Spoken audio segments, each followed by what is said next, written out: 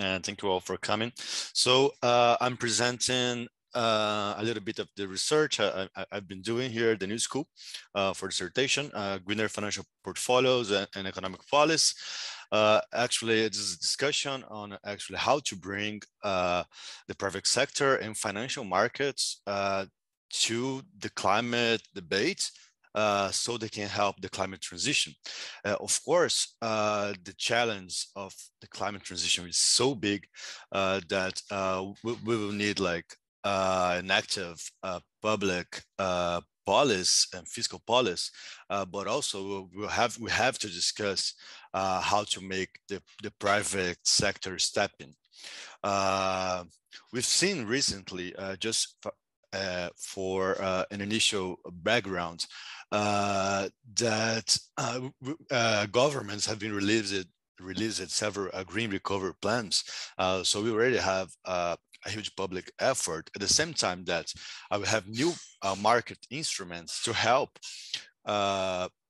pricing carbon as well as uh, funding uh, uh, green investments, uh, notably uh, carbon taxes uh, to change the relative cost of carbon and green bonds to help investors to leverage resources in financial markets for green investments, actually. As a background, uh, we should we should know and that this discussion of climate change and financial market has to do with the climate transition and physical uh, actually risks uh, that uh, that global warming will, will bring.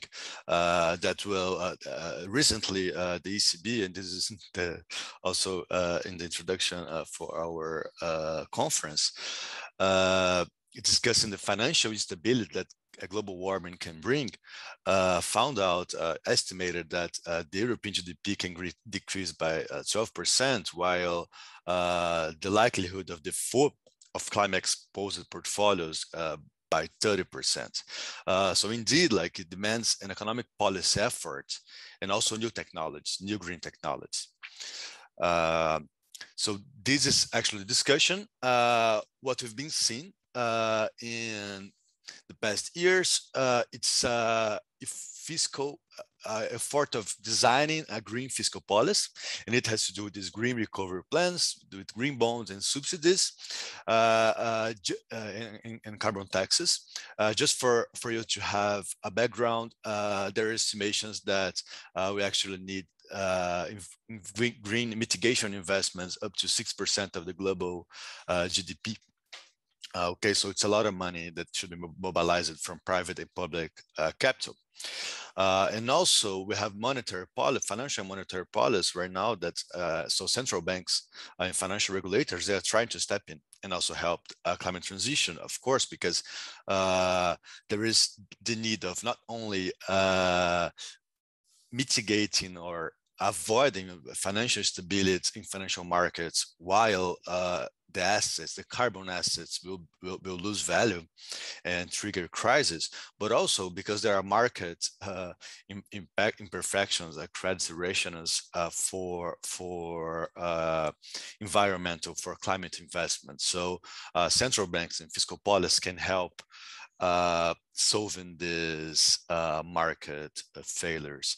And in that sense, incentives are, are indeed needed as it's written here in the end, to channel private credit flows to green investments, investments and allocate private investors to, the climate effort. So uh, here, uh, um, a whole picture of the research agenda, okay, of green financial portfolios. So uh, today I'll present this essay one, uh, which is called Improving Portfolio Decisions with a Green Economic Policy uh, but also uh, there is like two essays, uh, one on uh, fiscal policy, the risk of green investments for green bond market, that green bond market that was published by the Journal of Economic and Dynamics Control, and a discussion on green monetary policy, greening uh, central banks. Uh, so what's the background of that? first, financial markets, they are carbon biased and short-term oriented. So we have to change investors' mindsets. And, and, and economic policy can help that. Also, second, conventional, conventional uh, portfolio decision models in the financial markets, such as the, the, the uh, very known uh, KP, CAPM, which is a mean variance approach, uh, do not account properly for climate risks and externalities because there, there are tipping points, uh, because actually uh, these risks are not easy to, to measure. And finally, uh, we have uh, imperfections and in financial markets and, and credits not being private credits not easily channeled to to green investment, especially uh, green technology and new green technologies which uh, have uh, higher costs. So this is this is the background, uh, and uh, I, we have actually uh, one big question, which is how to induce a greener investors portfolio decision to protect financial market from climate risks and increase green investments. So we had to make uh, investors also think green uh, so we can uh, avoid financial instability from climate change and also increase green investments. So we, uh, in, in, the research, uh, we have two steps. Uh, first, with financial market indices data, I'm able to estimate uh, the monthly annual total returns of green and fossil fuel bonds. Uh, I do that for the US and European Union uh, during 10 years. Okay. Uh, and I try to answer this question. What are the current investors' expectations in the long term for green bond and, and energy bond returns? Why that? To study uh, these returns investors' decision with the portfolio model which I'll present here. So, so, so the second step is uh, uh, presenting a portfolio allocation model um, in which you have green bonds and fossil fuel bonds. It's a Merton type dynamic portfolio model to, to answer the following question. Uh, how economic policy can induce investors to allocate a larger share of, the, of their wealth to green investments? Uh, okay, so uh, this for the estimations, for the return estimations, uh, I use uh, harmonic estimation, a fast Fourier tr transform. Actually, uh, this is very useful uh, first because it's it's a method that it's used in in financial markets, but also because we know that green bonds, green investors, they are long term oriented. Uh, there are pension funds, for example, and of course, climate gains are long term. Uh, so this method kind of uh, uh, build a low frequency data uh, is moving uh, the returns with a sine cosine function like this one, which is shown. Uh, so uh, we have here uh, the estimations. you see in the top for the US and the bottom for the European Union for the green bonds and energy bonds. Uh, we don't need to look that in details just to show like how it's estimated. So the, the red line uh, is the harmonic estimation, which as you can see, uh, it's moved the returns and then you can have a low, a, a low frequency data to be analyzed. Uh, based on that, we can have uh, some initial uh, evidence in discussion uh, on, on the behavior and performance of green bonds versus uh, fossil fuel bonds. Uh, Andreas in the next presentation will present much more uh, empirical results on that, uh, which is part of our uh, whole research pro project. but first, there is evidence that green bonds are less volatile uh, than fossil fuel bonds. Okay, and you can see here, uh, based on the cycles that were uh, estimated, that uh, low frequency data shows higher volatility for fossil fuel bonds than green bonds. So then there are benefits in investing green, investing in green bonds, because indeed you have a lower volatility uh, and it's related in financial market theory with lower risks.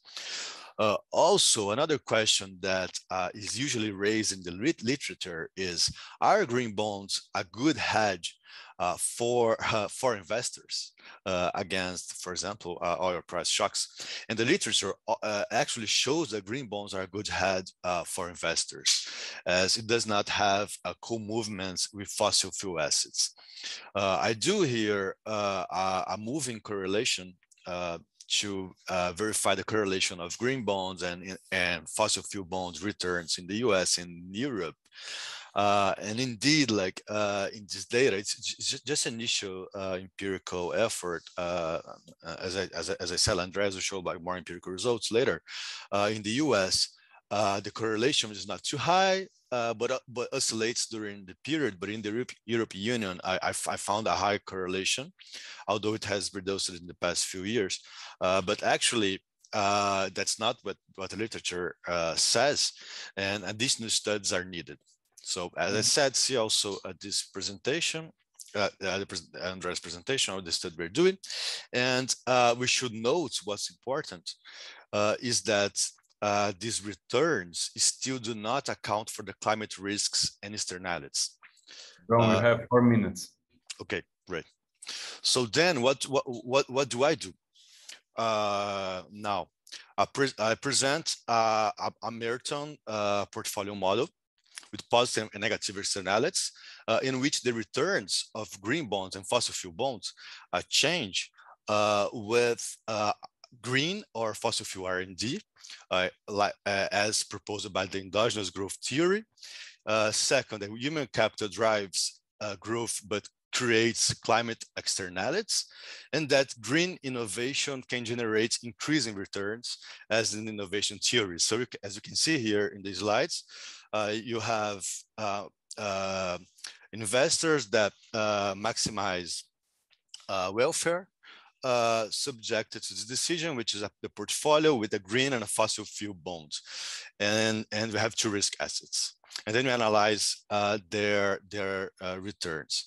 Uh, the return of green bonds and energy bonds depends on innovation, which is here, the, the share of engineers which are located to, uh, to, to the projects. Okay, if they are green engineers or fossil fuel engineers, and we have a logistic function to adjust for uh, the social returns of innovation. And then we studied uh, climate policy. What's the role of climate policy? uh, on that. And in the model, climate policy will shift the returns and impact the volatility. So a, a, a, climate policy will ensure higher returns and lower volatility for green and lower returns and higher volatility for fossil fuel. Um, so uh, I'll show the results. Uh, for the case in which you have, uh, first for the case in which you have 50% of engineers allocated to green R&D. And you see here in the left, that uh, asset values tends to decrease in the long run. Uh, here is the asset value. Uh, even with an active climate policy, green bond relative returns are not at attractive enough to divest fossil fuels. And, and you have low, actually low green innovation efforts constraints uh, that, constrains positive externalities. So that's the reason. And you can see here in the right that uh, uh, investors do, do not fully uh, divest uh, fossil fuels. So that's the reason. but, but without a climate policy, it's even worse. See, 1.2 is the share of green assets in the portfolio maximum divesting, uh, and zero is zero percent of green assets in the portfolio. So here in, in the in the right, you can see uh, that uh, how is, is, the portfolio decision. Actually, what's the best uh, policy solution as the model shows.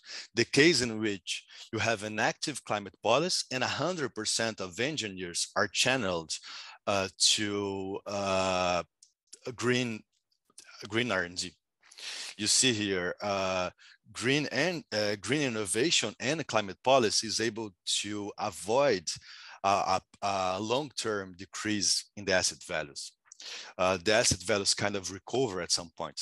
And you see here uh, in, in, in, the right that uh, investors fully divest fossil fuels. Okay, so uh, what are the main conclusions? Just finishing here, uh, climate investors are long-term oriented, uh, while green bonds tend to be less volatile than fossil fuel bonds. Climate negative, negative externalities tend to decrease asset values in the long run, but an active climate policy together with the green innovation policy can protect investors. And uh, more important uh, than that, an active climate policy is important, can increase returns, can attract investors, but uh, it's fundamental, it's necessary to channel resources to green innovation activities. So government should uh, uh, lead uh, an active innovation policy as well to guarantee uh, the long-term benefits of climate policies. That's it. Thank you. Thank you very much, João. Um, the anybody have has questions or comments, please raise the hand.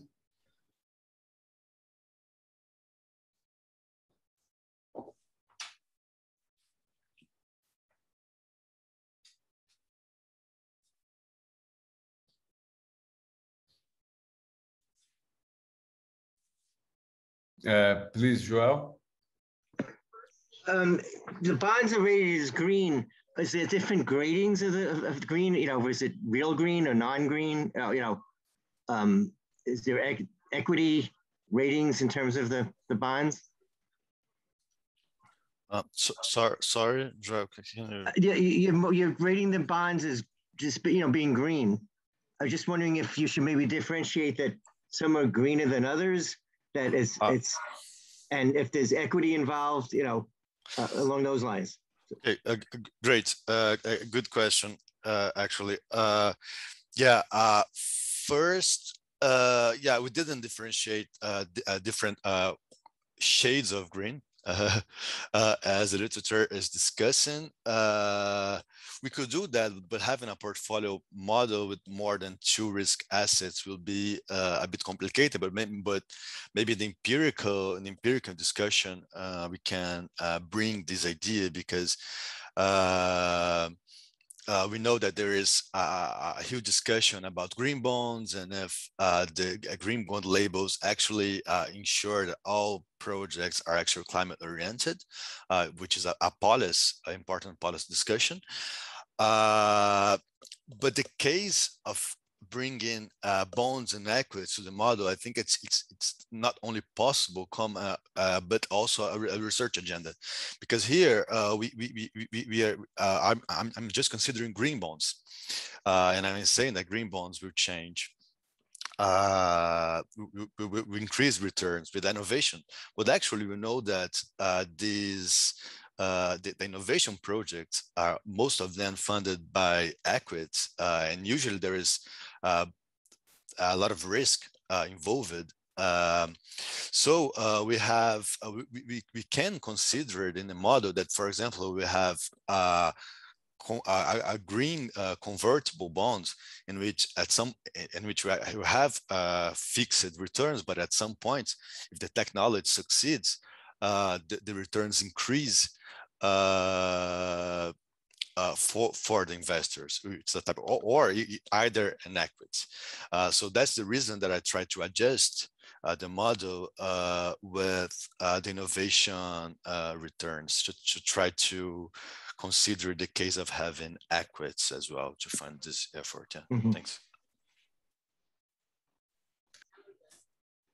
I just want to also, I'm an environmental attorney, and a lot of the work we're doing is so-called green jobs and, and federally funded projects has been anti-labor and anti-health, you know, situation. So you really have to watch not just the green label, but who's determining that it's green. So I think that that's very important. Thank you. So I think we could uh, move ahead for the next presenter. Uh, thank you very much, João. Uh, now we host Andreas Lichtenberger. He's going to talk about green bonds for a transition to a low carbon economy. Please, Andreas. Hi, everyone. Um, so I'm going to talk about this project that I have with Willi and Joao. Sorry, I'm just messing around here with my screens. So what I'm going to talk about today is a low carbon um, green bonds transition to a low carbon economy. We have a little introduction, then a dynamic portfolio model with reinvestment, and then some empirics on, on bond performance that Joao also was already referencing. So the second section will be pretty similar to things that you already saw from Joao, so probably won't go in there very deep, but as an introduction, also something that just came up in terms of the discussion about bonds and their definition. So the Bloomberg uh, new energy um, Foundation, I don't know the F, but the, their definition of green bonds is uh, fixed income instruments for which the proceeds will be applied towards projects or activities that promote climate change mitigation or adaptation or other environmental sustainability purposes. So there is some sort of dedication of what a green bond should actually be good for. And the Climate Bond Initiative, um, they have the green bonds principles, which um, are regional or national guidelines, but people who uh, pub, uh, publish these bonds they um, follow some sort of voluntary guidelines and um, there is some sort of private certification and uh, um, and what what the bonds are used for that should is made public and there should be transparency but it's also kind of not a very clear standard to it um, the data that we use the green bond data from bloomberg terminal so they are based on issuer self-labeling. So a green bond is a bond that is kind of issued by a green a green bond company, and they themselves then say, "Oh, this is a green bond." But at the same time, they can't only say that; they also need to communicate what what are these things used for. So we do not dig in explicitly what the qualitative dimension of these green bonds are. This is just some little background, but yeah, it's just a little caveat. Um, it says here that issuers must commit to deploying 100% of bond proceeds to environmental sustainability oriented activities, and some of these activities are listed here. But then again, there's obviously probably also some greenwashing going on, which is not the topic of this presentation, but this still sh should be kept in mind as some sort of context for green bonds, their usage and need, but also for further research to kind of look into what is actually going on with the data. And as the data are showing, uh, there is an increase in the needs of green bonds, so the utilities as well as carbon taxation. And we see the deployment of various uh, green initiatives, carbon price only, green bonds only, and the combination of the two of them across the globe.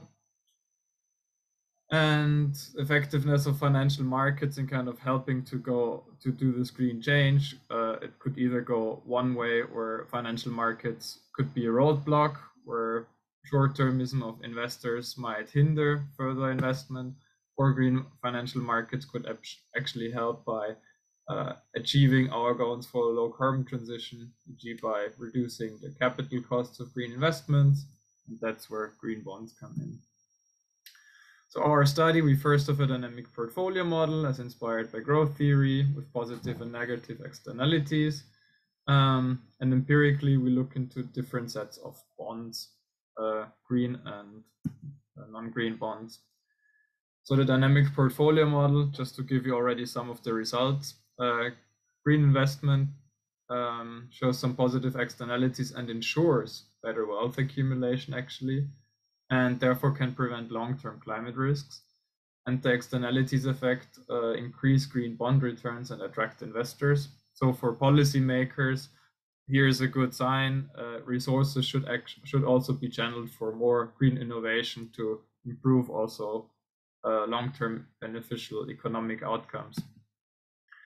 And our empirical results sort of support some ideas of the portfolio model that we have.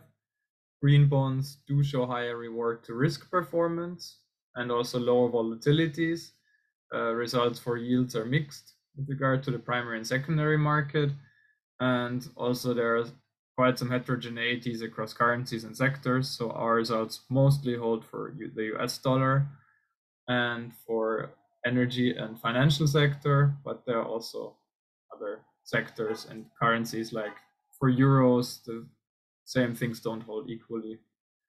Policymakers should help increasing attractiveness of green bonds, could be kind of the take home message for why, uh, how to support the green bond um, issuance. So the portfolio model, I think I'm gonna, yeah, just gonna skip this because this is sort of also what Joao already showed here. Just for the return of green um, bonds, we have here an externality variable, which uh, has uh, or something that reflects a positive externality. So due to the positive environmental aspect of green bonds, we would sort of expect a different return effect, the charts that you already saw, saw from Joao, plus the divestment, meant that the Y value here is 1.2, which means it's not only everything is invested with higher positive externalities effect for green bonds. Uh, not only everything is invested into green bonds, but also you divest, you take out some of your fossil fuel assets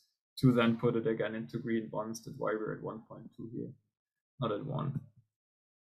We see an accumulation of wealth for higher alpha, for higher positive externality effects, which is the case of green bonds compared to non-green bonds. And then we also do some stochastic exercises to show that we don't only have deterministic, but also stochastic results for these wealth trajectories. Okay, empirical results. I think I have like 10 minutes or so left for talking. Um, so our hypothesis that the externality argument for dynamic asset pricing leads to higher and lower returns of green and non-green bonds is sort of captured by idea of um, looking at the reward to risk ratio. So in line with the financial accumulation story from our portfolio model, uh, we say that where, where we see theoretically that better and continuous wealth accumulation is given with green versus non-green bonds. We look at that by using the Sharpe ratio and saying, well, if we have a certain amount of return and a certain amount of risk or volatility, then continuous accumulation could be related to the idea of the reward to risk ratio that we find in financial literature. And we are also looking into yields and volatility variable. We use different values for volatilities. Um, yeah, and that's something that prior literature hasn't actually investigated that much. In order to run a regression model, we uh, start from the portfolio-based Sharpe ratio, which is the average portfolio return minus the risk-free rate over the portfolio volatility, and derive a bond-specific Sharpe ratio where we just look at the individual bond return minus the risk-free rate and divide it over the bond-specific volatility. So we do like several exercises with our data. Uh, we just use a multi so our data are cross-sectional for one point in time at the end of 2020, where we have different sectors and currencies of bonds for, for the green and the non-green case, where we just use a multivariate regression. Then in order to rule out issuer-specific effects, we would pair each bond from the same issuer with set of criteria like similar maturity, being the same issue, of course, same sector, being the same currency, and um, yeah, I think another issue. So we try to kind of rule out other sort of uh, biases here. Then in the third step, we also try to look at the nonlinear effects in, in, in the volatility and use a classification and regression tree analysis. And in order to also get closer to the idea of fossil fuel bonds, we look specifically at the energy sector. So we have four different sectors finance, government, utilities, and energy.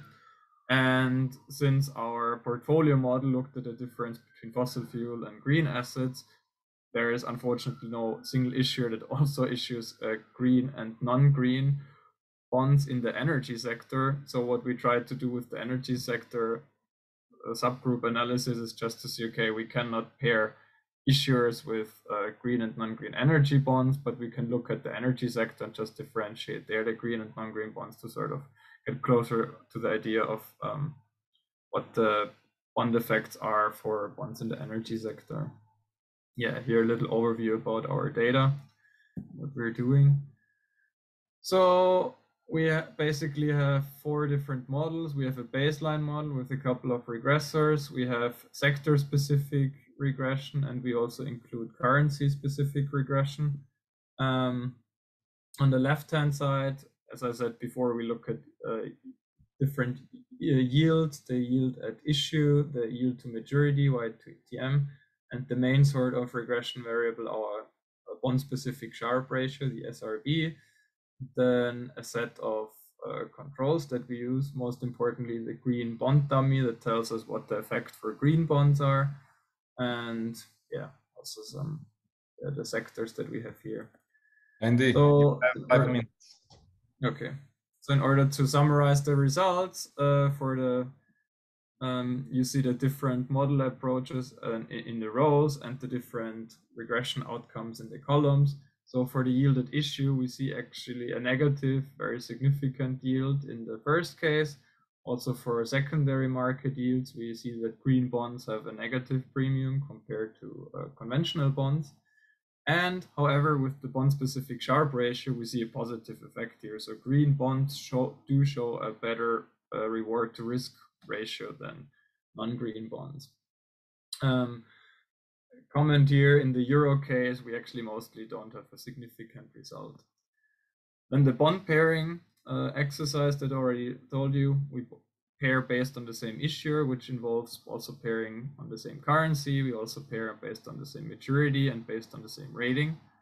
Um, yeah, then some more details. We use a KNN algorithm if they're like still for one green bond, multiple non-green bond candidates um, to couple that with similar sets of coupon rate values, and we end up with a sub subset of a thousand paired observations. And then we run this green minus conventional regression, which is also done in the literature, like by Capron and Shines. Great study.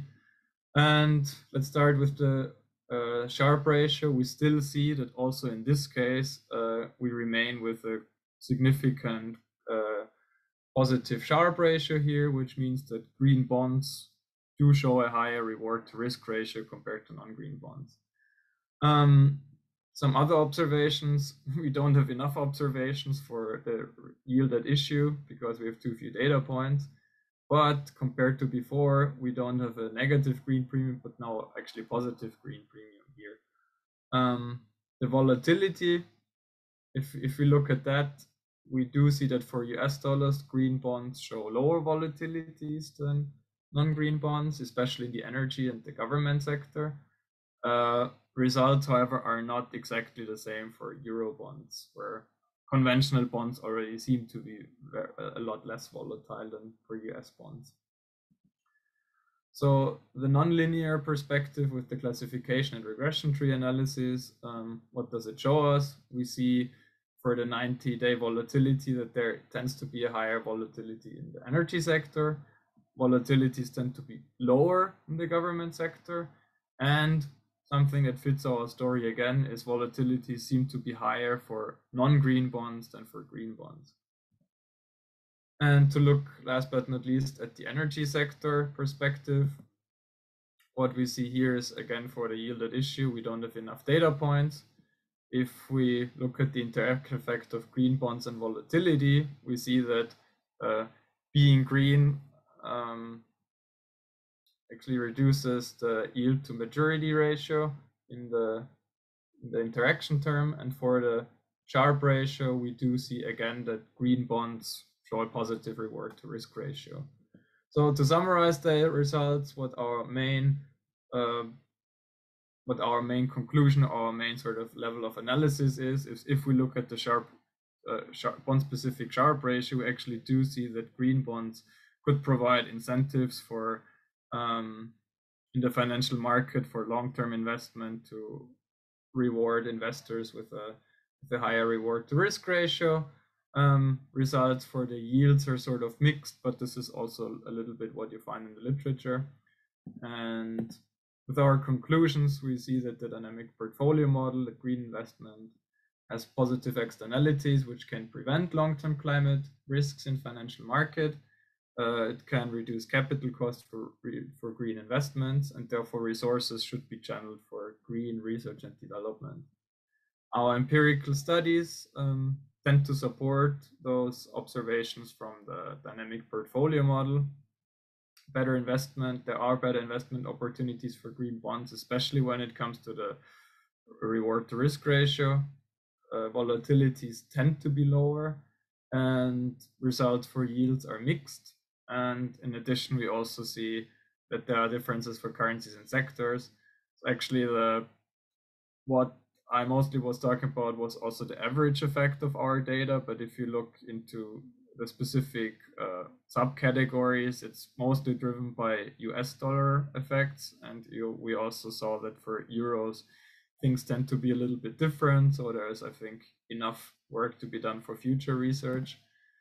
and policymakers could step up and also help increasing attractiveness of green bonds and push that agenda forward. So, yeah, thank you for your attention. And you want to read up a bit on it, we also have a World Bank report that already discusses the issue of green bonds and fiscal policies. Thank you very much, Andy. Um, questions, comments, suggestions from our audience?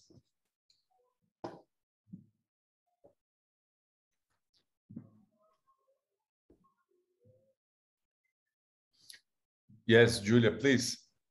Yeah, thank you so much for really excellent uh, research. Can I ask uh, Joao and Andreas um, a question that I could not answer? I was asked that two days ago and I could not give an informed answer. What is the relationship of green bonds and sustainability and artificial intelligence? And uh, do we have any data on this? I could not give any answer, so I ask uh, you. I mean, it's kind of a threefold question what you're asking. I mean, the relation of green bonds and sustainability is, I think, something that is well researched and also that we are are asked and have been asked. And I think that's not sort of the focus of our study. I think you can try to see how much green bonds actually do further green investment. Um, I think Shaw especially looked a bit more into that and the artificial intelligence angle um, i have no idea. I have no idea about artificial intelligence and i also actually don't really know in which way this question goes because it's like the whole field itself. So i don't know do you mean that with artificial intelligence investment would increase or investment would be made differently or what? Yeah it's like too broad to kind of understand where it goes yeah, so are these, uh, or is there any interconnection? Are these green bonds usually also, then we also have this uh, highly critical literature on cryptocurrencies, how much energy uh, cryptocurrencies are using up. So is this actually, uh, do we want to go into artificial intelligence and then be uh, sucking so much energy? Or uh, is this a way to make production more efficient? And this is critical and, and it seems to be a question out there that is not answered. Yeah, I mean, cryptocurrencies uh, are not in a good environmental light because you need a lot of server power to fuel all these uh, factories of mining for the blockchain algorithm solution. So, yeah, that's definitely a downside of it. I, I mean, you can have green bonds without having cryptocurrencies. So I think there is definitely, and the and the main idea of green bonds is not to host a um, like a me primary medium of exchange, but to provide some sort of funds for then have something for real investment. So it should optimally improve like the situation of our production system to green it and transition to a low carbon economy. But again, how that clearly uh, from the investment to the or, or from the from the financial market to the green investment side, how that exactly goes and what happens with the CO2 emissions on all the way, it's, I think, uh, subject to a lot more research. yeah, I think that's kind of what I'd say about it. If Joao wants to add something, you're welcome. No, thank you. You, answer very well. There, there's a, large discussion on uh, green bonds, digitalization, and green investment intelligence that, that is interesting. Uh, I, can, I can share with you, Julie, as well. Maybe on yep. uh, on um, the issue of uh, well, financial instruments and sustainability, I think uh, that for everybody we should uh, have somewhat in mind. So sustainability um, basically means that you avoid long-run negative externality of uh, the economy nature to others, or sustainability also means you introduce some innovations that goes somewhat in a more progressive, uh, inclusive uh, uh, direction. And now the question is, if you have financial instruments, does it show up your two uh, well intentions that you have with sustainability? Does it show up in? Uh, is that priced in in the asset prices in the asset return? And this is um, somewhat a starting point of our whole research on this. that is a very complex uh, uh, interaction in financial markets. It's very hard to figure this out. There's research says, oh yes, there is a green premium. In other words, uh, if you issue bonds, they will have lower returns because they have a um, lower uh, externality cost and uh, uh, leads to lower um, um, capital cost when you invest into green technology. So uh, this is basically the starting point of our analysis, but it's hard to uh, tie this down in data in, in the financial market dynamics because also a lot of financial market dynamics is just driven by arbitrage and they don't care about sustainability. So uh, this is a very big, uh, big task, but it's a good question. Thank you. Anyway. So. Yeah, thank you very much. With the and this presentation, we came to an end for our first session. And then we move forward to the second session, which is going to be moderated by João Paulo. And the, please, João. Okay, thank you, Jose, for that. And thank you all for the presentations in the first session. Um, this session is planned until uh, 1.30 uh, and then uh, we have a lunchtime uh, before uh, the uh, presentation of Professor uh, Bruno Meyer uh, on, on, on his book. so let's keep the same rules. 15 minutes presentation, five minutes comment. I'll let you know when, when there is a five minutes missing through a direct message and also I can interrupt you if you, if you prefer.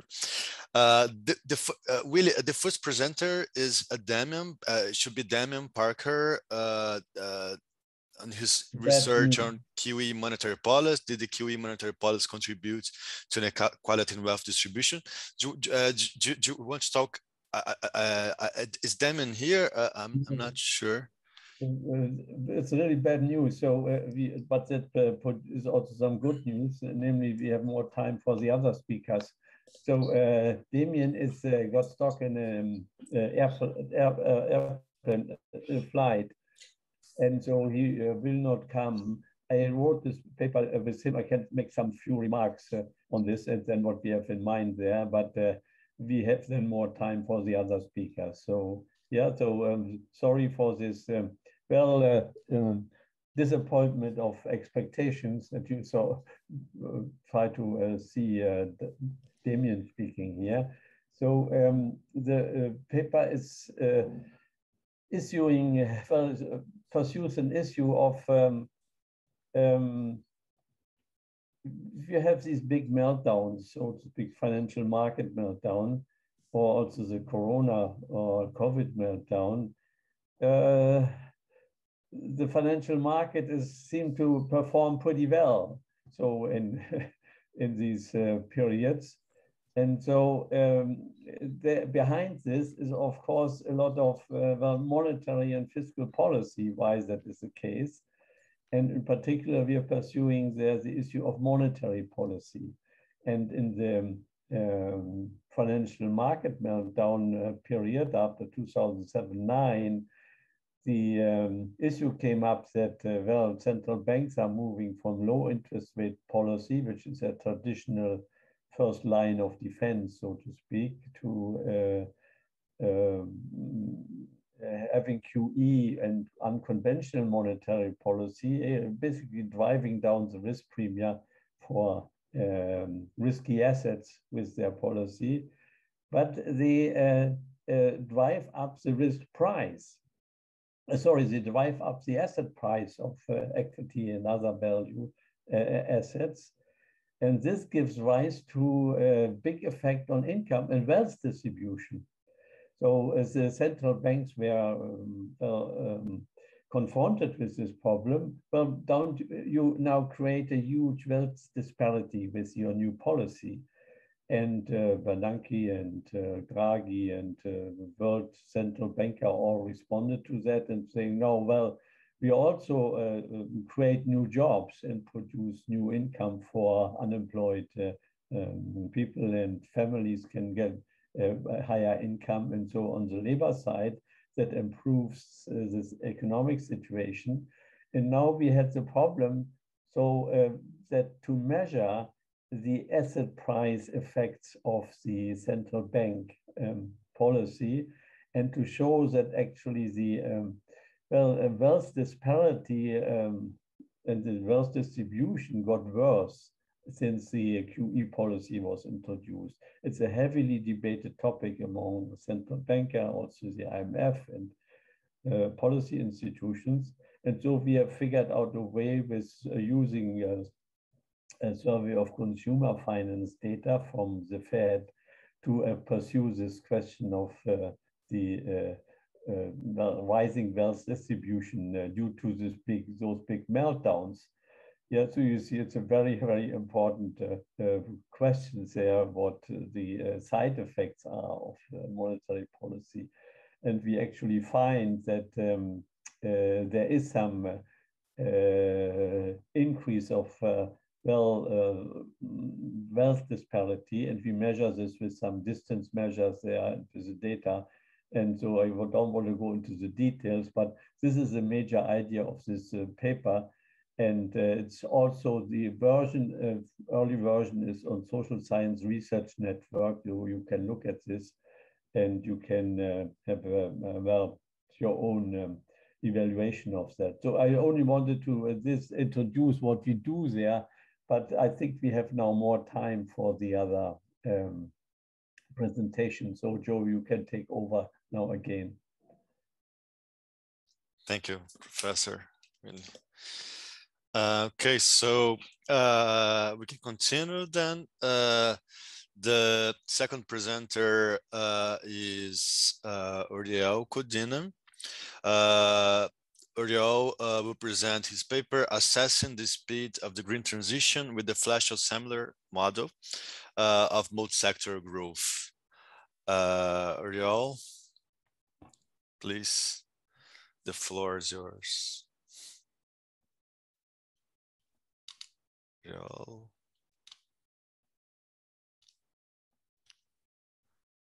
Ariel? Hi, sorry. Yeah, I'm just like looking for my presentation. Sorry about that. And then I muted myself. So thank you for, uh, so much, uh, Willi, Zé, and Joao for organizing this such an interesting workshop on climate economics.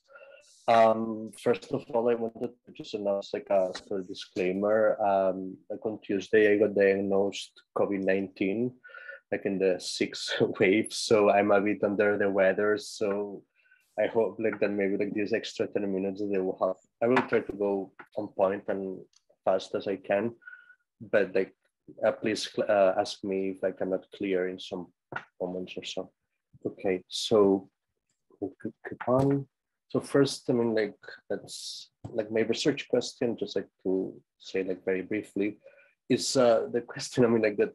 I mean, a lot of like these neoclassical models, for example, the one like by like Nordhaus, uh, the DICE model, like rely a lot on computing optimal policies, you know, and like looking at a kind of trade-off between acting upon climate change and like the costs of that, you know, and then trying to uh, engage in like what is like the optimal like uh, trade-off that one finds. The problem is that this kind of models like eventually get up producing I don't know like the optimal temperature increase that we may receive is I don't know 3.5 Celsius, which maybe for an economist makes sense, but like if you are a meteorologist, that means that like our atmosphere will be like the one of Venus or Mars, and that's actually like uh, kind of sustained uh, human life. So mm, it was a kind of problem. So like the my question was instead of like focus on what is optimal is uh, how much time we have left in order to try to decarbonize the economy. It's like can we and now there's all these um, alarmist um, messages that oh yeah we have like 12 years to act on climate change. We have 20 years. So there's all these empty promises in COP26 and by 2030 we should decarbonize, but is that feasible? Like, does like the production structure of like a particular country allow this to happen? And how can we really like, um, sorry, and how can we really like use fiscal policy in order to uh, facilitate like this transition? And with this kind of critical question, like I also try to um, address this debate whether like neoclassicals would say is that carbon pricing should be like enough as a Pigouvian tax in order to uh, tax the externality of climate change, or whether, like, because of climate change is impending, is looming, and we really need to do something as soon as possible, we also need quite a quantity like based mechanism in order to really like do the decarbonization transition, or whether you know just prices are enough. So, but these were the kind of questions that I tried to address in uh, my research. Um, so, just to show the, the optimality trap that I call it, like here, as I was saying, the optimal policy is like 3.5 Celsius of uh, temperatures. Like this is uh, completely untenable from a kind of any kind of approach. And instead, like not doing anything, the climate policy cost is, is like, sorry, um, sorry, like, and like, this kind of models also like imply that the climate policy cost, because it's always positive, by not doing anything against climate change, the climate or like climate change actually has economic benefits because do, dealing with climate change like has costs. So not doing anything without benefits. I mean, these were like particular like kind of questions that were really bothering me, and I was like trying to just address. Um, in order to do so, I used, uh, as I was mentioning, juxtaposition between you know, classical optimization versus classical time, I was using a, a very interesting dynamical model, multi-sector growth, that was done by or coined by uh, Peter Flaschel, who recently passed away, and Willi Semmler, who is here with us. Um, that also includes technological dynamics. And then we, uh, I empirically calibrate uh, the model with uh, six developed economies, using a simple like, random effects model with varying varying slopes, and uh, then try to substitute particular, particular namely like C19, which is manufacturing of coal, petroleum, and refined petroleum products, and D, which is electricity distribution and, and management. Um, and we try to really uh, see how like fiscal policy can accelerate uh, the decarbonization, the technical substitution of these particular sectors that tend to have a lot of carbon content by a kind of synthetic uh, green sector you know, that can replace it and see like what are the important parameters at play. And the directed technical change and how we enforce it, the particular policy, it's not like green bonds or of, of the kind that could be also very interesting to explore, but uh, tax subsidy form. You know, so then we just tax uh, carbon output and we use part of the share of this carbon output in order to um, do uh, green subsidies. You know, and then like, depending on this, we can accelerate or not the, the carbonization policy. On, so after calibration, what we do is just 14,000 simulations that with respect to these four uh, dominant parameters. First, like the technical efficiency would be a kind of cost, relative cost efficiency of the carbon sector with respect to the green sector. So for instance, like uh, 0.7 means that the green sector would be 70% more cost efficient than the carbon one. Then we have the initial output ratio, would be like the initial investment, know, that you know, the, how like the transition starts. And then this uh, tax subsidy policy mix between like carbon and green subsidies, like TAU and TAU prima. This allows also to explore like to what extent like also we need green subsidies in addition to carbon taxes or not. And it gives us like interesting like numbers to explore. Um, so just like the main results are like here sketched. I mean, like I'm going to show like the visuals at the end, but just big surprise, like fiscal policy does accelerate the phase out of carbon sectors and regardless of production structure or, or relative technical efficiency. So like the technical elements, the production elements are not that relevant. What is important is the policy. And if we don't do like this like kind of fiscal policy, we will never reach the targets of the UN. And for instance, there's just here. But then like effective, like the carbon taxes are really effective on its own. In the model, what they do is distort, uh, or they don't change any kind of preferences or so, but like what they do is uh, increase the profit rate differential between the, the carbon and the green sectors. And then this also like increases the differential in growth. But some, but this is not enough and it's very helpful, but just adding, for instance, not adding any kind of subsidy and adding like a 100% subsidy, one can just reduce the time of the carbonization in half. I'm going to just like show graphs that like in this direction. But instead, like we might also need green subsidies, especially because like we have like only maybe know, 10, 15, 20 years. So first I'm going to just briefly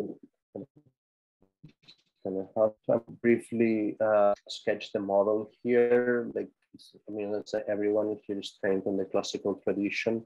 I don't have to really like go to maybe like the details of it, but it's a model, a dynamical model of multi-sector growth that produces some kind of like Lotka-Volterra uh, complex oscillations, you know, like prey-predator dynamics, very similar to the Goodwin cycle that I represented before. Um, the equilibrium in that case, when the oscillations are around the Sraffa von Neumann equilibrium, of like uh, balanced growth. And conventional input-output analysis. And but then the, the dynamical aspect of it is a cross-dual dynamical adjustment model where the two laws um, at play are the law of excess demand, in the classical sense, and the law of excess profitability of the uh, also added by the classicals. So, well, I mean, already know the von Neumann equilibrium, so I will jump over this slide, essentially two, per, two assumptions, like quality of supply and demand, and uniformity of profit rates. And the, the dynamics and like this cross-dual dynamical adjustment happens where you have an imbalance in between the demand and supply will trigger a change in prices. So you have more demand and supply, you have an increase in prices.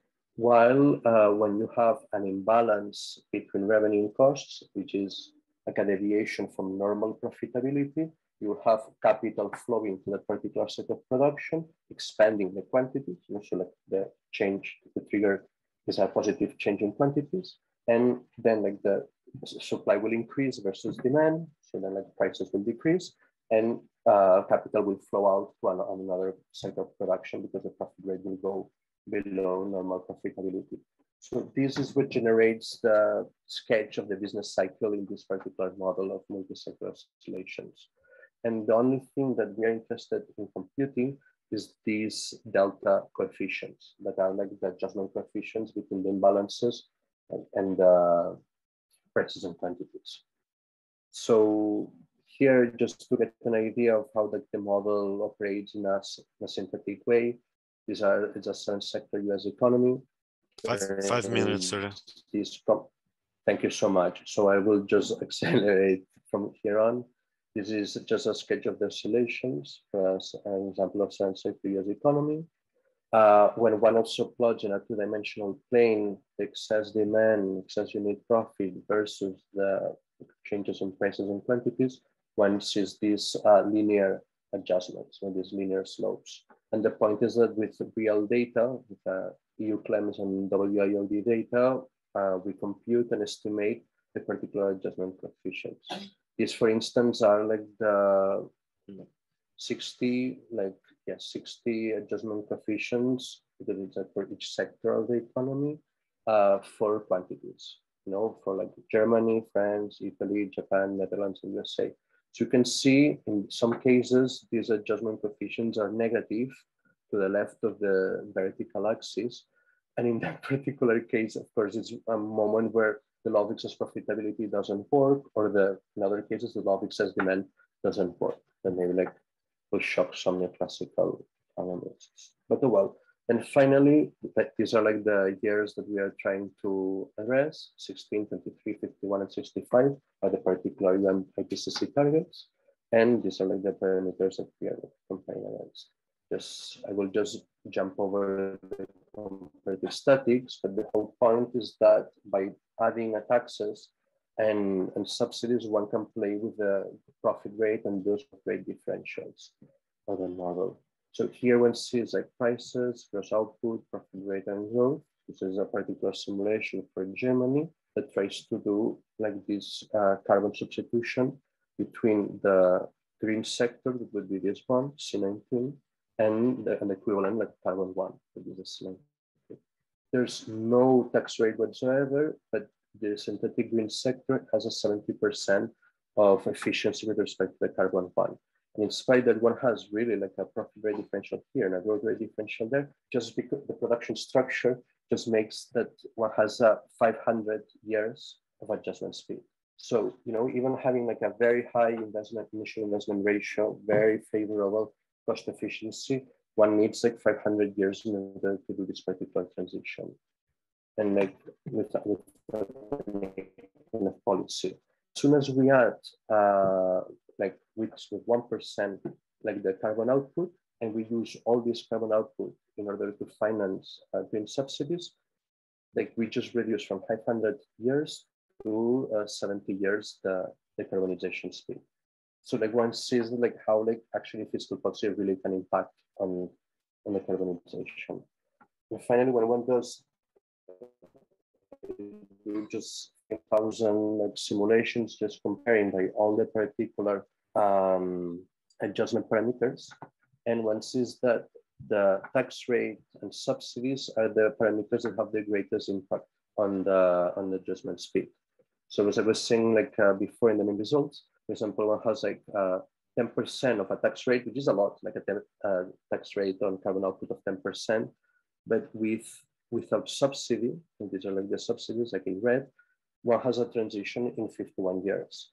Instead, when one like increases, uses all that carbon tax in order to subsidize green technologies, one can go from this 10% to already 23 years, which is the purple straight line. Also, one goes from here to here, like reducing in half. One can also do it, I don't know, 25% of uh, carbon tax, it's like 22 years, the carbonization takes place. But then with full subsidy, you go from red one to the purple one, which is in 10 years, you have already decarbonized. So you're actually able to cut it in half and technical efficiency and initial investments have very like uh, small impact. Like the important impact is present in, in the two, um, like in the fiscal policy mix. And finally, I mean, maybe like the last slide that they have here, but this is the regression that I returned. One sees that there's like highly significant values for all of the parameters and the tax one and in this case, like we just take part. Yeah, sorry, I'm done. I think that I'm done with that. And I just like thank you, and I'm really like looking forward to your comments. Um, I don't. Am I right on time? Or? Yeah, yeah, perfect. Like, okay, uh, right on time. oh, perfect. Okay, so if uh, you have like follow-up questions. Thank us, thank us, thank you so much, Oriol, for for for a presentation. It was great, clear, and and on time. Uh, okay. So uh, any, any comments, question uh, for Oriol? Um, we have some time for that now. Please raise your hands. Those who want to address a question.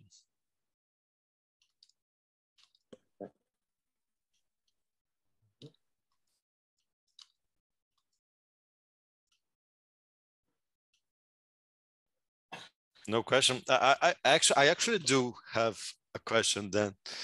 Uh, uh, uh, uh, uh these plots uh, in which you compare the profit rates and the prices, can you? Um, no.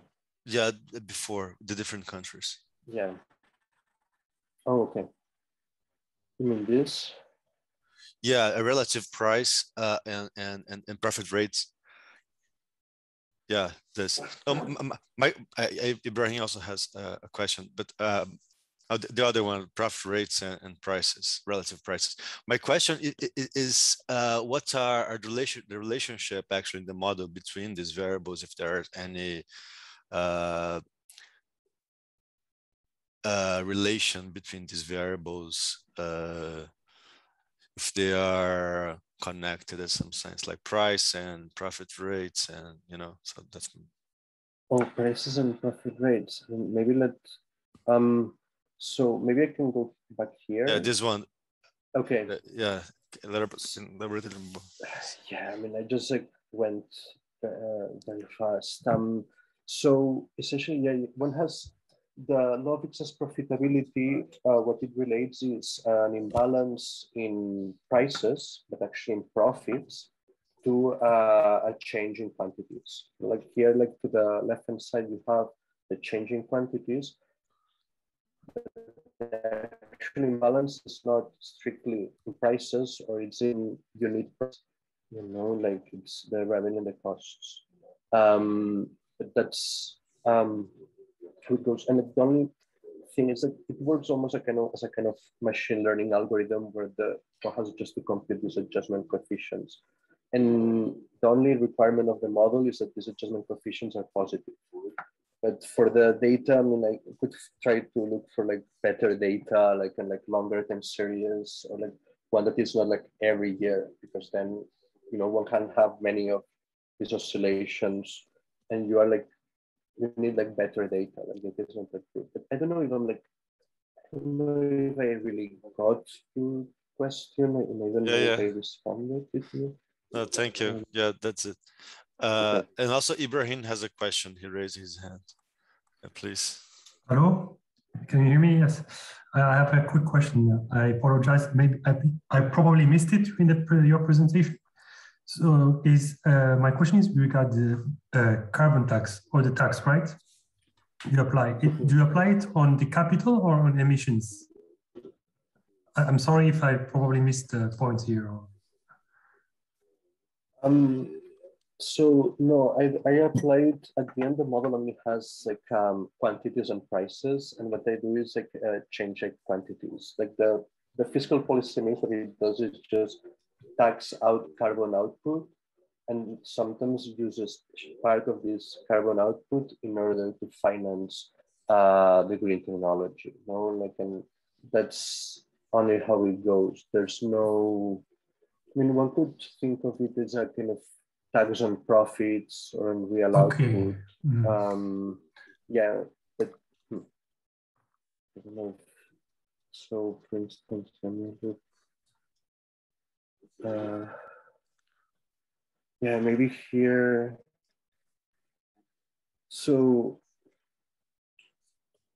yeah, I mean, that's like the tax here, if you go profit rate differentials with policy, tau is the tax rate. So essentially, we take part of this uh, of the carbon sector output, and you take out a, a share tau of it.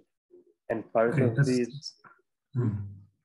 No, I no no I get it now. So it's from the okay. So- it's just playing with yeah with the profit rate differentials and i really like the model because it's like so classical in its approach you know there's like no preferences whatsoever and you don't have to think about optimality you already take that the we, we don't want the temperature to increase more you know you just want to achieve the carbonization as a kind of objective um yeah um like without no sorry Okay, great. So, uh, any other question, or do we move to uh, the next presenter?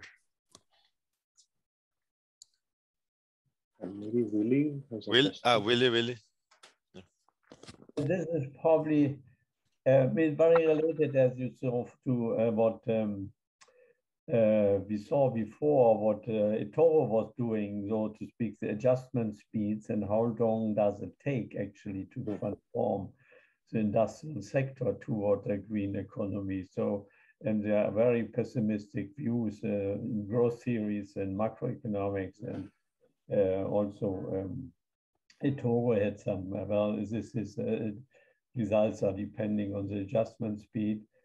And uh, I think this is a good um, um, point. Now, uh, of course, one might want to make an adjustment speed also depending on other things. So let's say on the um, um, size of the difference uh, in uh, prof profitability differences across across the different sectors or other things. But here they are, as I understand, they are linear, and so they could be also made uh, depending on other things, and so it may then hopefully go faster. But he has with some tax and subsidies that's working faster. But I think that's an important question. So, um, Oriol, you have something on um, the speed of adjustment to see how one can, how else one can uh, model this? Um, how, sorry, um, how can, uh, sorry, like I, I got like a blank. Um, yeah, I was also like sometimes like thinking, I mean, because it's just like a linear adjustment, one can use also like different like functional forms to see if like it works better. Um, I was also thinking like, yeah, that the delta coefficient, I use the same for carbon and the green sector, but maybe, you know, it's an elasticity you know, to profits, you know, and to and to like demand and maybe you know like one can see if like there's different values for that. Try to look at empirical reports to to calibrate this but it was like a bit difficult. And um uh what was going to say? Just like um sorry I just like got blank. Um basically like the research yeah of course like one can be like very pessimistic. I think like what i just wanted to show is that if like politicians like really like decided to um, there's like this work by andreas malm who talks about like the need of doing like ecological leninism you know and kind of kind of like work communism in order to be able to address the climate crisis. You know that there's no new deal anymore you know World War One kind of situation where capitalism is driving us towards. So the point was saying, yeah, like if we had some kind of new economic policy like Lenin style, yeah, one can really decarbonize the economy quite fast. But of course, one needs political will or the disposition for that. And of course, in that sense, I'm very pessimistic in the sense that uh, liberal politicians are going to do anything for that to change. I mean, but would be kind of peace uh, in support of ecological leninism, if that makes sense. That's like a bit like the underlying goal of my paper. Uh, I don't know if I responded to your comment. Sorry, I just got distracted. Okay. Yes, yes thank you. Uh, great. So thank you, thank you so much. Uh, thank you, Oriol. So let's move to the next presenters. The not presenter, actually, just one, uh, which is uh, who is um, José, uh, Pedro. Uh, José Pedro Bastos Neves.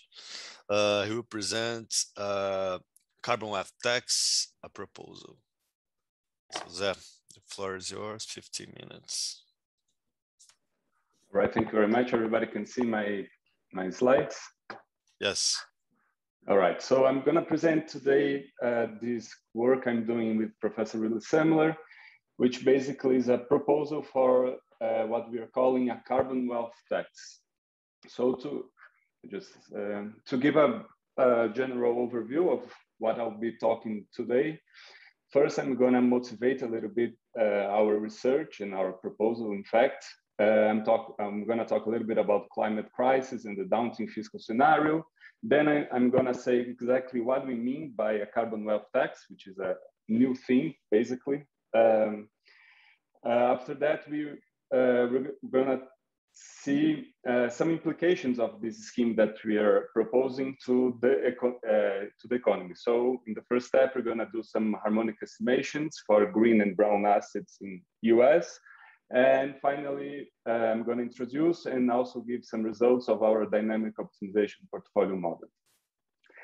Uh, so the first thing I would like to uh, draw your attention to today is that uh, the carbon taxation, the classic carbon taxation, uh, doesn't seem to be um, solving our climate problems. So in the left-hand uh, graph, you can see that both coverage and the revenues associated with tax, carbon tax are increasing. but there is still a lot of ground to cover. Um, the right uh, hand side graph, you can see that the announced pledge scenario uh, the, the, the, the, carbon emissions are decreasing far less than it will be required to meet the Paris uh, goals by 2050. At the same time, especially after the COVID response um, uh, policies, the fiscal scenario is more challenging. Um, the all over the world, the, the, the, governments engaged into fiscal and monetary policy that resulted in a higher uh, government debt as share of GDP. We see that in the left uh, graph here, the advanced economies, for instance, um, they incurred in 20 points uh, percentage of GDP in, in, in higher uh, expenditures. And at the same time, uh, a longer trend on revenues, on government revenues, indicate that uh, the, the, the, governments are um, collecting less money as revenue. So the right uh, graph here, we see especially the corporate income tax decreasing in all regions of the world. This is from an OECD uh, report. And I actually uh, get the, the, slide out of the presentation, but the third thing I would like to uh, also notice that is that we have an increasing wealth inequality. I know that all of you are well aware of this, but basically, at least in the United States, the first, uh, the 1% uh, well, uh, the 1% uh, holds the same wealth as they held in 1940, like over uh, if I'm not mistaken, 20% of total wealth. Uh, and in the middle of this context, uh, there, there have been, of course, some proposals of introducing wealth tax, wealth taxation. Um, ma mainly here, I'm using the works by Saez and Zucman, which I think is the most popular one, and possibly you have heard of it already. Also, there are more uh, economic hardcore models developed by Gunnar and Jacobson in 2020, 2019 and 2020.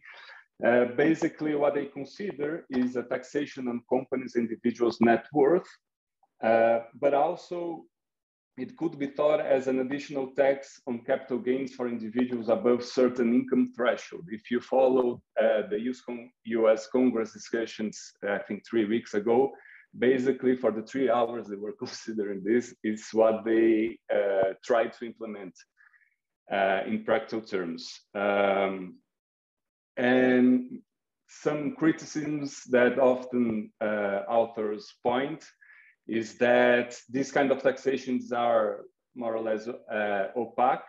So it's hard to actually know what a net worth is for individuals, for instance, and that is also uh, it also entails capital flight away from the country that introduced it. So basically the rationale that we thought uh, for taxing brown assets, um, there are uh, there, are, there are two rationales. The first one is that uh, there is this benefit principle, which has a long history in, in the economic history, uh, economic thought history, which basically uh, says that more access to public goods, you have to tax more.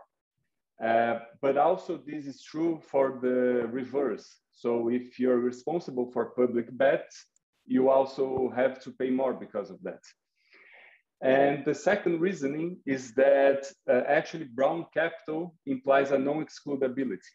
Um, and I mean by that, that it locks the economy in a sustainable path and nobody can opt out uh, from it. So even though you're very conscious uh, about the problems that um, climate change may uh, imply in your life, you cannot like um, get out of uh, this world trend. And, and also in this context, if, you, the, if the capital flies away from brown, brown sectors, is actually a good thing, uh, or is actually what we are looking for in a green transition context. So here I I'm bringing this graph by Tong and al. Um, basically, what he says is that uh, you can see the, the several uh, carbon emission paths. Uh, the one associated with the Paris uh, Accord is the uh, is this RCP 2.6, and he's saying that given our current infrastructure, we are also we are already consuming all of our carbon budget uh, for the next decades. So um, it's impossible to avoid if you are really serious about committing to the Paris goals, it's impossible to continue with this kind of capital structure that we currently have. Uh, so next, uh, just to get ideas fixed, um, when we say about a carbon wealth tax, we're saying basically this first equation that you see in, in, uh, in the slide. Uh, here is the logarithm returns on asset prices. And uh, we put a, small, um, it's not a small, but a, a, taxation on these returns, right? It's possible to show that if you tax, um, if you have a high tax on capital gains, this may be equivalent to taxing net worth, which is what um, uh, which uh, is what the, the authors uh, consider, the literature consider. And the main advantage is that the, the implementation is straightforward. I mean, uh, IRS already oversees capital gains and uh, and and it, it wouldn't be uh, much trouble implementing this. And for sake of completeness, uh, I'm putting here also the equation of green uh, returns on green investment uh, on green capital in case of subsidies. So this is a long uh, literature as well, saying uh, uh, trying to to put forward the idea that we need to subsidize green investments in order to do the green transition. And, and both of these equations are going to enter the model later on. Uh, the basic uh, method, uh, empirical challenge that we have dealing with this, um, the, the, our proposal of, a green, um, a carbon wealth taxation is that we have to have a way to discriminate between brown and green companies. Uh, if you look at the literature, there are a lot of uh, studies that do this uh, differentiation, but they focus on sectors. And given that we're talking about taxation, uh, we need some uh, company level discrimination. I'm not going to talk a lot about uh, this here because of time, time constraints, but I should say that we are using here um, ESG um, database precisely the MSCI uh, ESG ratings database, which comprises more than uh, 9,000 companies and bonds. Basically, our strategy is to select those that are in the S&P 500 because we need uh, data from stock uh, um, stock prices, and we need also companies that are in that are in crucial sectors for for green transition. So that means that we don't really want to focus on big techs, for instance, that are already in a sector that doesn't don't pollute that much. So we really want to try to focus on oil and gas, transportation, or these um, more crucial sectors. And basically, we use this carbon emission score, uh, which uh, that there are several agencies that, um, uh, that, that, that, that do this work of uh, grading companies on how they are faring in, uh, in green actions. So for those uh, with low grades, we call them the brown companies, and we're gonna tax them in our uh, in our uh, theoretical exercise. And the green companies are those with a good grade, so above 7.2. Um, and those are going to be recipients in, of uh, green subsidies. and four minutes. Okay, I'm gonna uh, basically, here we have the estimated returns from 2010 to, to 2021. We are running also a fast Fourier transform, which means that we are um, cleaning up uh, from uh, high frequency oscillation. So this basically is the is a, a long-term tendencies of our uh, two kind of companies. Uh, regarding the dynamic optimization portfolio model, this is, uh, we are assuming that there is only one investor, three, three assets, the safe, green, and brown, and the returns at time varying.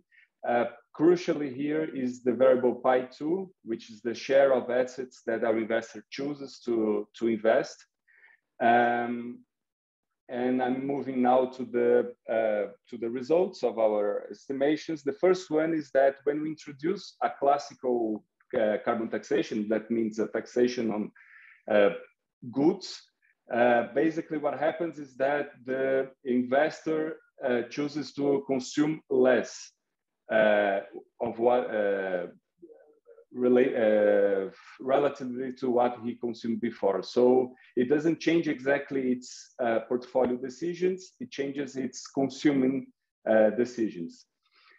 Uh, if we, uh, in this graph, we, we plotted the wealth dynamics path and we see that uh, we have substantial results when we, when we introduce high uh, taxation. So the green and, and, pink lines here are both for 40% uh, uh, of taxation.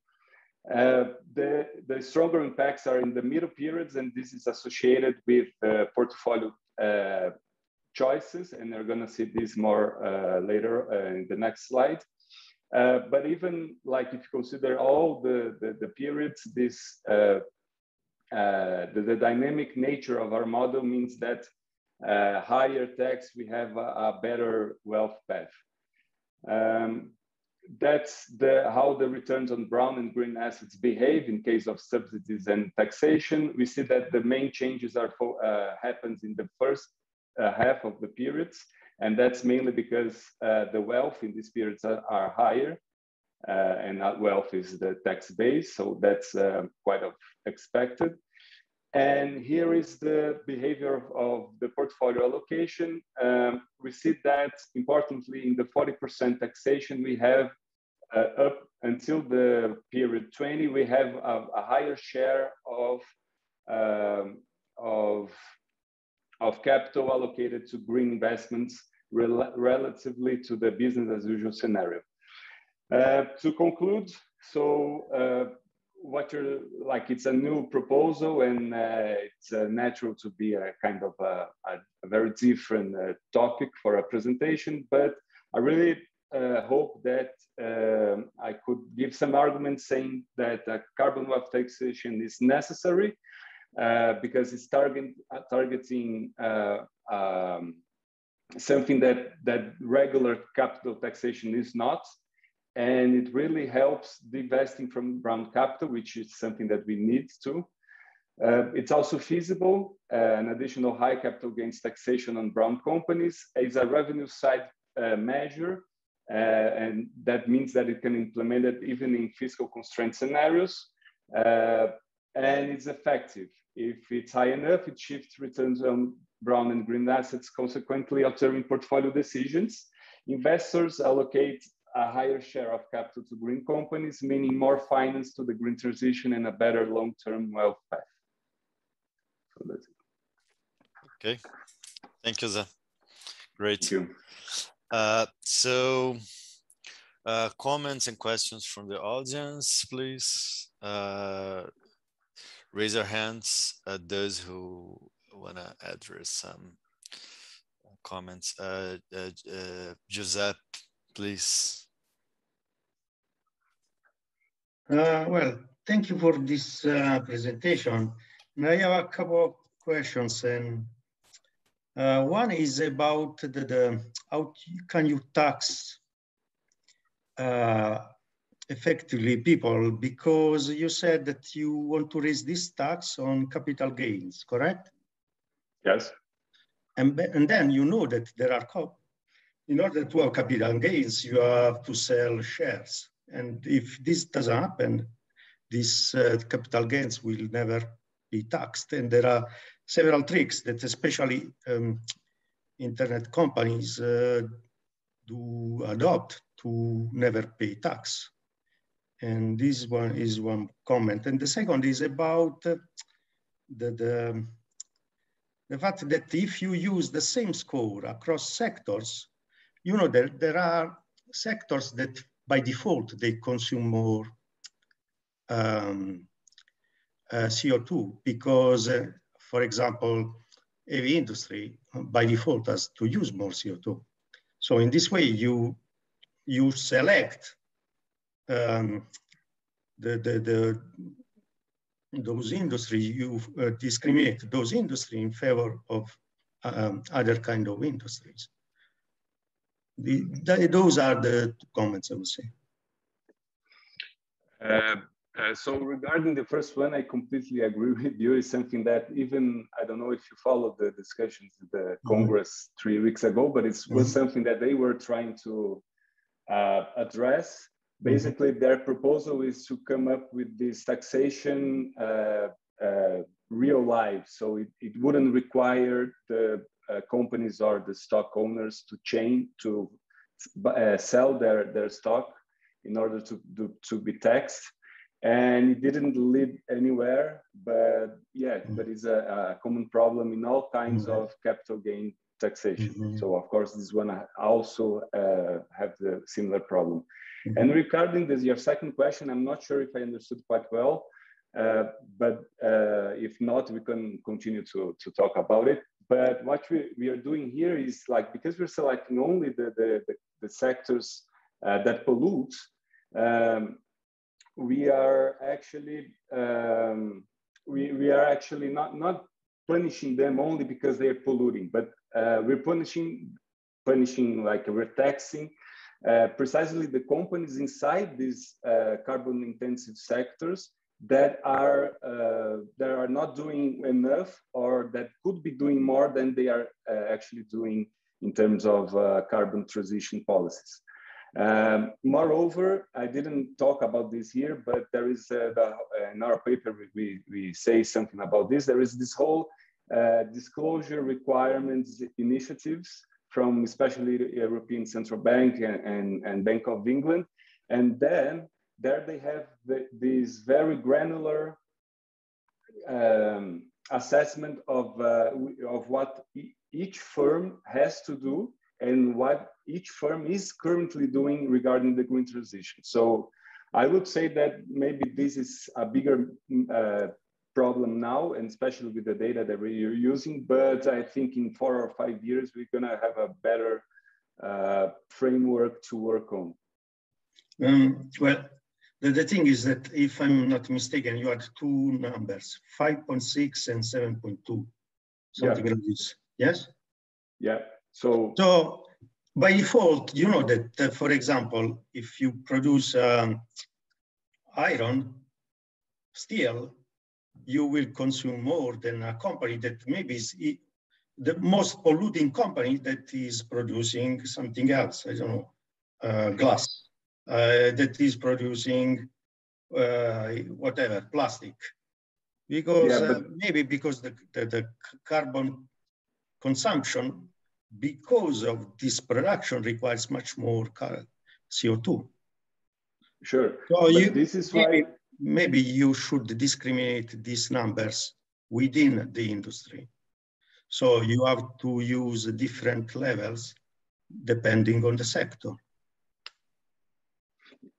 Yeah, one way uh, that we try to get around this issue mm. was selecting only the, the emitting sectors. So we are not talking about like for instance plastic mm-hmm. we're talking about oil and gas transportation mm-hmm. chemistry etc mm-hmm. and the second thing is that this kind of grading it already mm-hmm. takes into account uh, uh, the, the sector specificities mm-hmm. so this is like this is coming from esg framework and they have to grade in the end they have to put a label if mm-hmm. it's triple A, if it's A or B plus, etc., etc. So they take into account this mm-hmm. in some way or another.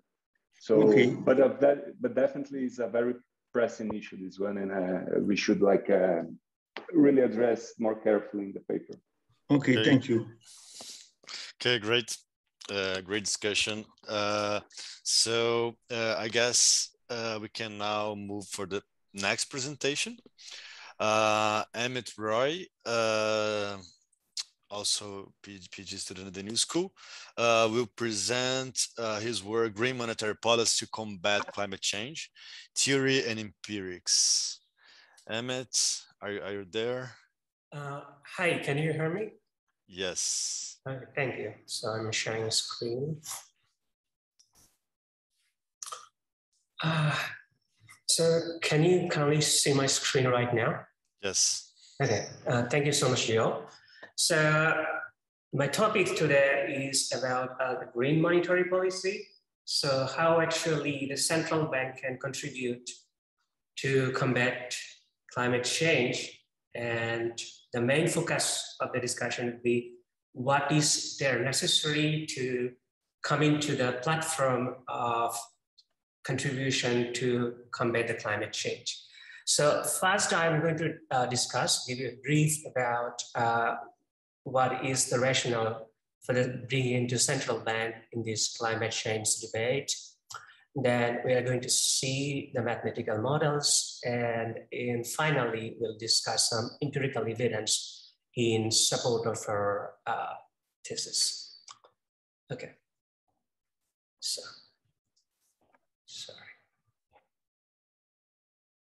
Uh, uh, sorry for the oscillations there. So uh, again, as we all know, the climate change poses economy-wide and social challenges.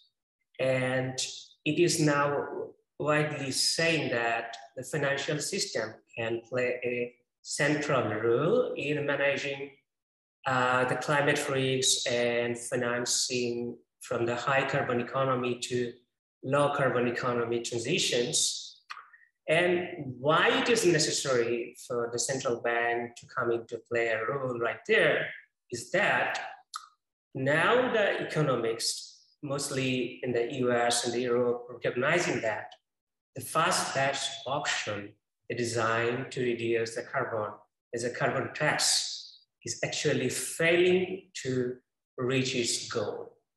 If you look at uh, the data, it said that the carbon price initiatives introduced, mostly the carbon tax and uh, emission tradable permits, would cover only 5.5% of global emission in 2021.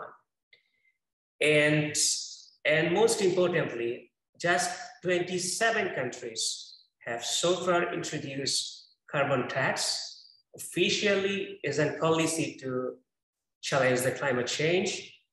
And United States and China, those two countries were responsible for more than 44% of the global emissions are still reluctant to adopt any carbon pricing such as carbon tax or tradable permits as an official policy.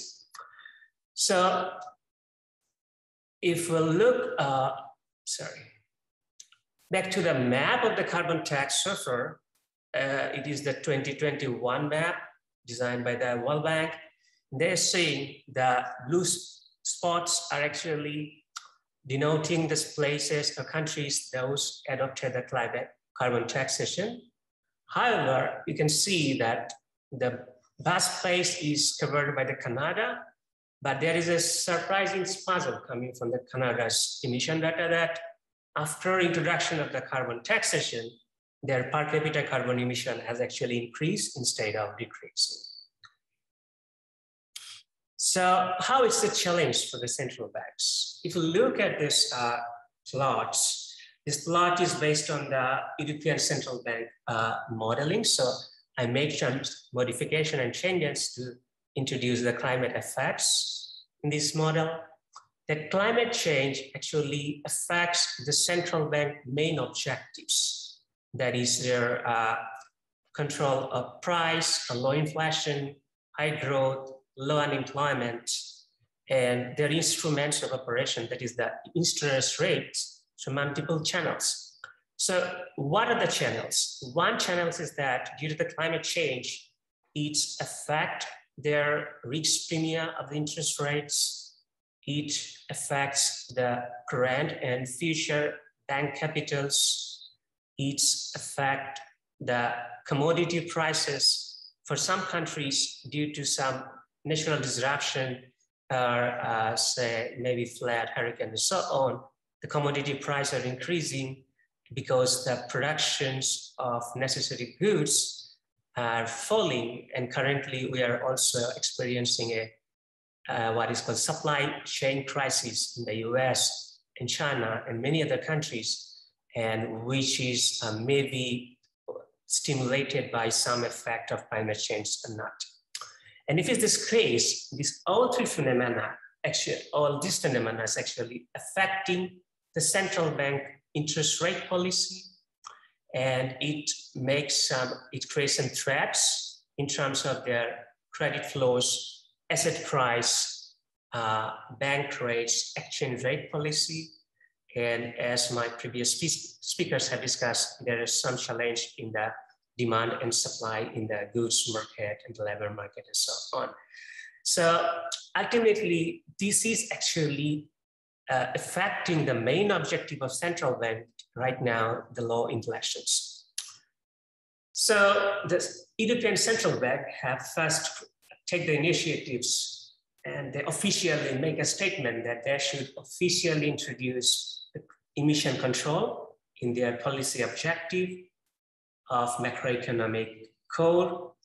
And so if we introduce now, along with the price stability and higher growth, two more objectives that relate to the carbon, sorry, climate change management. One is the emission control and financing low transition, transition to low carbon economy, then we can make a framework for the green monetary policy. So we are actually elaborating the current framework of dealing with the monetary policy in, by inclusion of new phenomena called the emission control. Now, our question is how are we going to do that? So we are going to introduce uh, a green interest rate that will actually have some climate risk premium in addition to the normal bank interest rate. And if that can be done, then it will ultimately affect the credit flow in the industrial sector and also consumption sector. And this will reduce the production of high carbon incentive goods, also the low carbon incentive goods, and increase the flow of low carbon incentive industries and also housing and other consumption goods, and ultimately through both channels of fall in the production and the carbon intensive production and increase the production of the low carbon intensive goods and reducing the carbon intensive goods consumption, it will ultimately achieve the objective of reducing emission. Okay, so to frame this in the mathematical framework, we adopt uh, the new Keynesian monetary policy frameworks and their frameworks was that that actually specific to the monetary policy arena. So their objective is to minimize the losses coming from the gap between the current GDP and the potential GDP and the current inflation and the target inflation. So we introduce two many phenomena there is that reduce the emission gap that is between the current emission and the target emission and reduce the credit flow gap between the credit flow in the high carbon intensive industry or consumption sector and low carbon uh, credit, sectors. And so we have some constraints as a design. That is the first constraints coming from the goods markets. That is the current, the dynamics of output depends on its current outputs and the interest rate phenomena and some damage. The damage is coming from the current emissions. And we are hoping that these dynamics will be affected through these credit flow channels. So if the introduction of a green interest rate may change the money market conditions and constraint between this high carbon intensive industry uh, sectors and low carbon sectors, then if the credit flow in the high carbon sector is going down, but is increasing the credit flow in the sectors of low carbon intensive sectors, we are saying that output will increase over time. And this is coming from the justification of uh, the previous uh, forecast from this, not just model as if the current output is grow at the same rate then in future, the output will fall because of the climate induced disasters. So if the green credit flow is increased against uh, high carbon intensive credit flow, uh, then in future, dynamics will reverse, so output will increase instead of going down, that may be in the first phase. And we have a proxy level market constraint that's coming from the Phillips curve, and we introduce an emission constraint. So our emission constraint, we are saying that there are a stock of emissions that is already in the environment that cannot be reduced either through carbon taxations, because if you introduce new carbon tax, that will reduce the emission of that based on new production, not that is exist, existing. But if we introduce instead the low, what is called a credit flow in the low carbon intensive sectors, then they may actually introduce new technologies that not only can reduce the current emissions, but also can help to reduce the existing stock of emission in the atmosphere. And for this, as a control variable in the credit flow, we introduce two terms. What is the our current interest rates? And we have uh, four minutes, sorry, I didn't okay, uh, uh, interrupt you. okay. And uh, there is the, we call the climate risk premium. So if we can set a parameter that's addition to the market interest rate as a climate risk premium, then the cr credit flow to the high carbon sector will reduce because the people that trading into uh, what's called operating in the high carbon sectors their cost of operation will increase because of this increase in these climate risk. On the other hand, the cost of operation in the green sector will be reduced because of this climate risk premium. So we have made some calibration on AMPL based on this model, but we're not going to report this because the time constraints. We can just move to very give you a brief about the empirical evidence so for gas. So in our empirical models, we take evidence from uh, five countries, Brazil, China, European Union, India, and US, and data about 2004 to 2018. And we have the emission as a dependent variable, GDP, and the green credit flow, and the monetary interest rate, we call this green interest rate and inflation. And we take this data from international renewable energy about the emissions and green credit flow, the rest of the data are taking from this IMF stats. And so I'm not going to details about the test, but we can have some, uh, show some impulse response functions that is coming from the VAR models. And we divide VAR model into two panels. One is the high inflation uh, that is called the low price regime, and this or the uh, unstable price regime and the low inflation or stable price regime sector. So if you look at this uh, stable price regime, what is happening that if increase the green credit flow, then uh, our emissions is going down. Uh, and this impact of the GDP is, although there will be some negative impact in the first phase, but it will decay over time. And uh, and but these emissions will also decrease. And even in the case of unstable price regime or high inflation case, if we introduce the green credit and interest rates, the impact on uh, what is called on GDP is not will not be too unstable on monetary policy or in the inflation dynamics, it will not affect so much.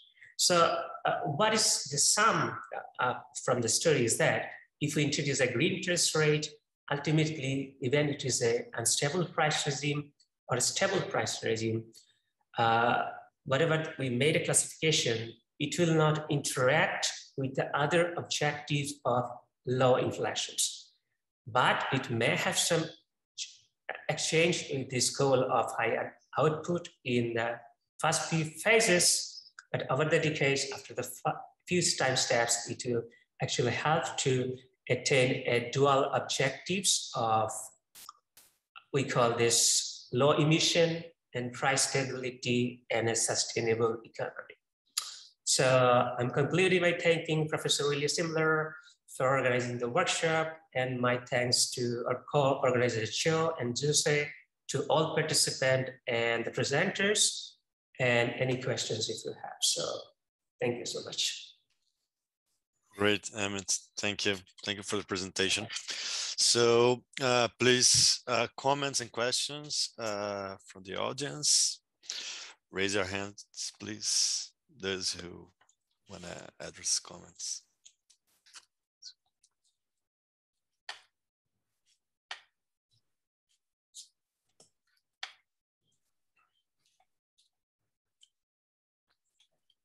No. Uh, just maybe one one short remark. Uh, this is um, a very heavily uh, well controversial um, in discussion among central bankers. Should they intervene in a market neutral way or should they intervene selectively, um, allocating, trying to stimulate, alloc uh, stimulate credit flows to certain industries and uh, uh, for the good, so to speak, of the uh, well, moving more toward a green economy. And um, it's um, an assumption in the model that um, maybe uh, somebody can ask this question later in the afternoon when Brunnermeier is there. He is one of the central bank advisors of the ECB. And uh, when I was at the ECB, I always faced the issue that they said, well, uh, that looks like industrial policy and we are not allowed to do this. so, uh, this, so this is um, concerning there. But I think uh, historically, um, many central banks and governments did this. So you had uh, certain time periods after the war, whatever bottlenecks industries, and there was credit flows allocated and stimulated to flow to that. But nowadays they have this principle of market neutrality and Cochrane of Chicago or is now Stanford is heavily uh, fighting for this. And so don't want to have any selective uh, policy. So uh, this might be a good uh, question for uh, our expert later. Uh, maybe somebody can ask this. All right, so Giuseppe, you had some other questions? No, no, no. For me, it's perfectly fine, and I agree with you. I am in the between the two positions. I would say that uh, uh, we know that uh, every I, cannot say country, but continent should have kind of control of the supply chain. So it cannot be that uh, Europe has no um, still at all uh, no, no means to, to produce uh, uh, vaccines when they are required and so on. And I, so in, I cannot say that uh, we need to be interventionist, but we cannot also ignore that we need uh, the, the control somehow of the, the, the, of the, the, of the chain, of the, the industrial chain. Otherwise, when there is a crisis, uh, we are um, not prepared and we are completely um, exposed to the will of other continents. I think not in terms of countries, but in terms of continents. Yeah. Great, thank you. Amit, any any remark about the comments from Professor Really? Uh, Professor uh, thank you so much. Uh, so just a, uh, just a one uh, feedbacks uh, that now this, I think from the 2020 and onward development, uh, the, there are many research uh, have been conducted on what, and there are theoretical argument that should central bank adopt emission investor policy or not? And the new answer is that if they do not introduce the emission control as their objective, then after the two decades, they are not able to reach their objective uh, output control or the inflation control because the climate related disasters and other increase uh, would impact the supply chains not in the country in the, uh, globally and they will not in this case able to manage anything and ultimately they have to move to something that is similar to industrial policy or there will be then no need for a central bank because if all credit go to particular sectors actually having a control over the credit in the economy. That, that's all. Thank you so much for the comments. Okay, great, great, Amit. Thank you. Uh, so uh, we can uh, move for the next presentation. Um, uh, who will present is Abenais uh, Minefar. The, uh, yes. is it correct, Behnaz? How are yes. you? Uh, the, the work is limited yes. pricing and entry game Hi. of renewable energy firms into the energy sector. Please, great to have you here. Yes.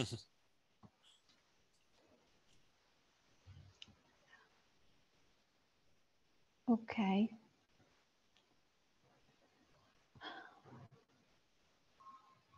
Okay, could you see the uh, yes. file? Yes. Yes. Okay, that's great. Okay, uh, thank you, Professor Semmler, you and others for this workshop, and um, thank you others for attending this uh, workshop. Okay, the title of our uh, research is Limit Pricing and Entry Game of Renewable Energy Firms into the Energy Sector. Uh, at first, I want to have a brief over, uh, overview about uh, what we did. Um, in order to combat the climate change, generally governments try to provide incentives to replace old technologies with new ones, which they are based on renewable energy. But uh, we should consider that uh, still there are fossil fuels incumbents that uh, they prevent the entrance of the renewable energy. Uh, on the other hand, uh, limit pricing is achieved when the, these dominant firms that here we consider these dominant firms as uh, fossil fuels energy suppliers, uh, they face the entrance and the entrance of the renewable energy and they um, put uh, they set the price below the monopoly profit maximizing level. In this way they try to prevent the entrance of the renewable energy suppliers so in this paper, uh, we try to consider this uh, context of the limit pricing and uh, we uh, study the behavior of the dominant firms when they face with the entrance of the uh, fringe firms. And uh, we made a, a game theoretic stylization of competition between them these two firms. Uh, on the other hand, uh, we wanted to investigate specifically the effect of the renewable energy uh, when we have the subsidies for renewable energy. And uh, we investigated the effect of that.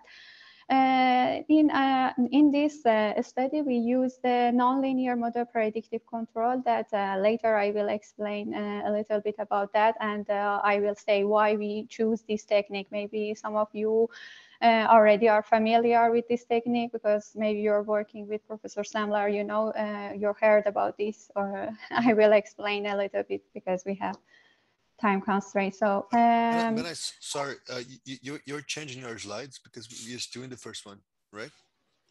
Sorry? Are, are, you, are you changing your slides but just because I cannot see different Yes. Uh, now I change my slide. Uh, you can see. Uh, uh, it's a start with the, our uh, results show that the initial level. I you will you can see. I still can see the first one. Oh, how about the others?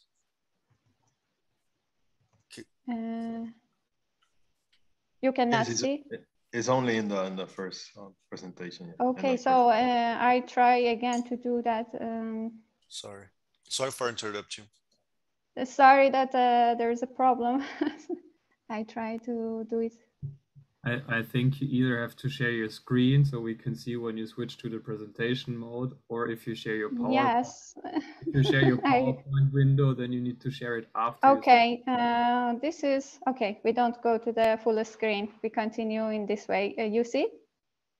Yes, now, now, now, now we can see that it changed for the second Okay, one, right? so it's better I don't go to the full screen, so it's better in this way. Uh, so uh, we are here. I wanted to have an overview of our results uh, that um, our results show that the initial level of the renewables cash flow uh, has an important uh, role uh, when we want to predict the dominant firm's behavior.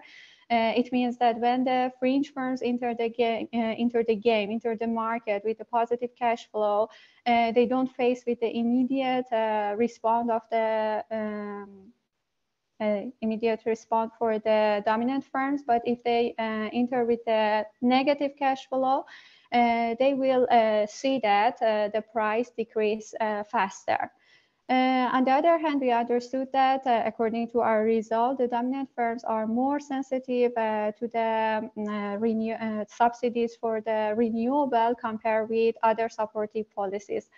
So we are going to details to see how we got this result. Um, as we know, and according to the previous studies, we know that there's a high correlation between the use of the and consumption of the fossil fuels and climate disaster. So many studies are concentrated on the transition from fossil fuels uh, to renewable resources. Uh, in this paper, we concentrate on the limit pricing part of this transition. Uh, it means that uh, we consider a, a, dynamic interaction between the two kinds of the firms, uh, fossil fuels and renewable, and we, we want to see how uh, they interact with each other when uh, there is the threat of entrance of the renewable energy in the market. And specifically, we want to assess the effect of the subsidies to renewable energy. Uh, but um, before that, I want to have a very brief explanation about the notion of the NMPC for uh, those uh, they don't know about uh, this technique. Uh, this is a, a, receding horizon, NMPC or nonlinear model predictive control is a receding horizon model. It means that instead of making the prediction for the entire time, uh, we just set a time horizon and in each instant of the time, we make the prediction for that uh, time horizon. And uh, uh, in the and we shift forward in the next time. And according to the result that we received, we make the prediction for the next time uh, horizon. Uh, the other uh, privilege of this technique is that uh, when uh, we use this technique uh, in each instant of the time, again, firms can predict the effects of their actions and those of their opponents.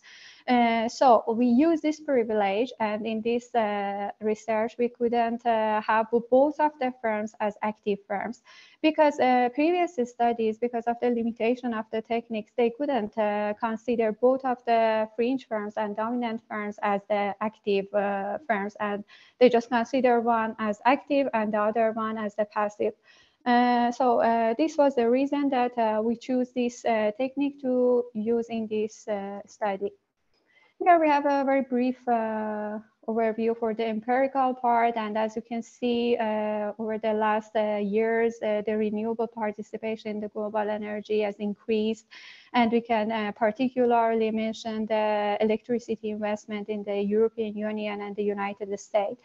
Uh, also, we can see that in the uh, in recent years, renewable energy costs uh, also uh, mm, have a, a have a massive reduction, and we can.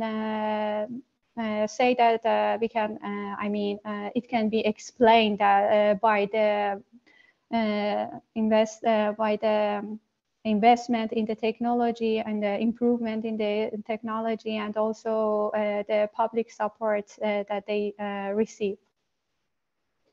Now we are going to the part of the dynamic and uh, I want to say that how we made this uh, dynamic model. Okay, here uh, we, uh, as I mentioned before, uh, we wanted to uh, assess the interaction between these two groups of the firms. We consider we consider in this model dominant firms as the price setters and fringe firms as price taker. Uh, it means that dominant firms can determine the fringe uh, earnings by setting the price, and the fringe firms uh, can, um, by setting the output quantities, can choose the retained earnings. Uh, so uh, it means that the, cur the, current price determines the fringe uh, earnings. Consequently, higher price will lead to a higher level of the fringe firm's capacity and vice versa. Uh, in this way, we can consider the uh, fringe uh, capacity uh, as a state variable for both player, because at the same time, dominant firm try to decrease it and uh, fringe firms uh, try to increase this capacity. Here we have the, we can see that how fringe capacity evolved according to the time, and we will see that it's a function of the price marginal cost, retained uh, earnings as, a, as an important uh, variables inside that. And then we should have the optimization problem of the both uh, of the firms, fringe firms and uh, dominant firms. Here uh, you can see the dominant firms optimization problem because at this uh, at the, each instant of the time, both of the firms want to maximize their profit. Uh, here we can uh, see that the uh, profit, uh, we can see that the optimization problem subjected to the uh, fringe capacity. Here we will have it. And uh, we have here the, the optimization, sorry, the optimization problem for the fringe firms uh, can uh, we can see that also it's a function of the marginal cost for the fringe and uh, retained uh, earnings as a control variable. So here uh, we use our uh, technique, NMPC technique, and the iterative solutions of the optimization problem give us some fixed point about for the price and retained earnings. Uh, in the during the time, uh, the sequence of this fixed point uh, make our equilibrium uh, for the um, fringe uh, for the fringe capacity, which is uh, our state variable. Five minutes. yes. So, okay. so I try to be faster. uh, we consider, uh, we uh, did our simulation in three cases. We consider that the fringe firms uh, enter the game with a positive cash flow, negative, and uh, specifically we assess the effect of the uh, subsidies on renewable. Here you can see that the positive cash flow effect um, positive cash flow effect. And uh, as you can see here, fringe capacity, uh, mm, the fringe, uh, fringe uh, firms uh, enter the game with a positive cash flow we will see that uh, we see that here uh, for the first period, the dominant firm they uh, don't uh, react to this interest, but after the second period, uh, they mm, make less the the price for preventing the interest of the fringe firms in the market.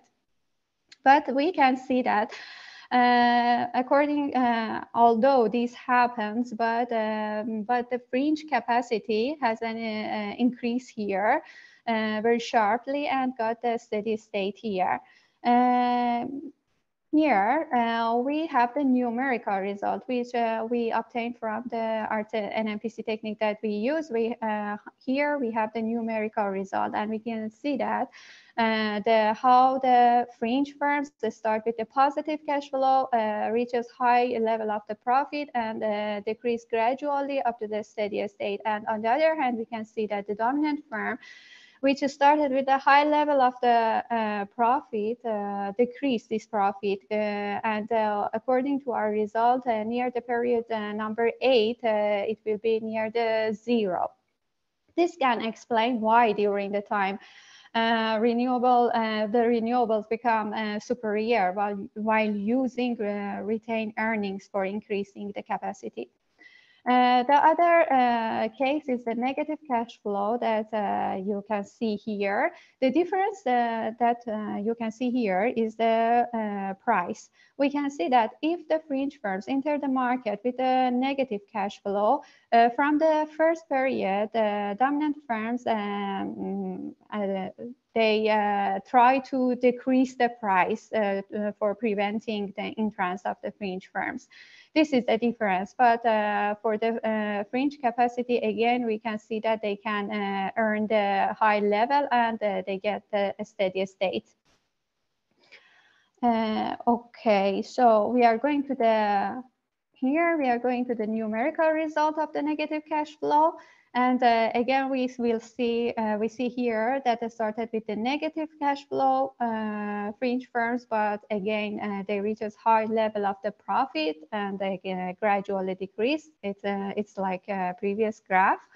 Uh, and uh, also dominant firms uh, decrease gradually. So it means that although they started to go to the market with a negative cash flow, but they could remain in the market and also earn a good level of the profit. Uh, the last case is the effect of the renewable energy subsidies. Uh, the difference again is on the price you can see. Uh, here, when uh, mm, dominant firms see that uh, renewable energy has a, support, public support of the subsidies, at first try to uh, decrease, uh, uh, increase the price and then decrease the price for preventing. This is a difference. And you can see that here, the slope of the fringe capacity also a little bit different, but finally get the steady state like the previous cases. Uh, so uh, this is uh, the numerical part. Also, the numerical part is a little bit uh, different. We can uh, see that here uh, in the first period when they have the energy subsidy support in the first period, the profit is zero for the fringe firms. But the, another difference is that they get higher level of the profit in this case. Uh, although gradually again uh, it's a decrease uh, and get the level steady state level like the previous cases but at first get the higher level but we should consider that uh, for energy subsidies, uh, this uh, energy subsidy help the fringe firms to take off and get to the market. But when they arrive to the good point and a good position for the competition, this should be cut back. This support should be cut back. Uh, so again, uh, we come back uh, to the mm, our results, and now we saw that how the initial uh, value of the cash uh, renewables cash flow affect the behavior of the dominant firms, and uh, we saw that how the dominant firms are more sensitive for the renewables when they face with the renewable subsidies. Uh, and uh, our simulation, uh, you saw that it according to our simulation, we can see that when they have the subsidies, they have the sub public support of the renewable subsidies, they will earn a higher profit. Uh, at first, uh, however, after some periods, again, uh, reach the same steady state as the previous cases uh, some important literature and uh, thank you. I think, I hope I am in time. yeah, yeah, your time. And also we had this technical issue during the presentation. thank you, Vanessa, for your clear presentation. Um, thank you. Any comments, questions from the audience, suggestions? Raise your hands, those who want to address some questions.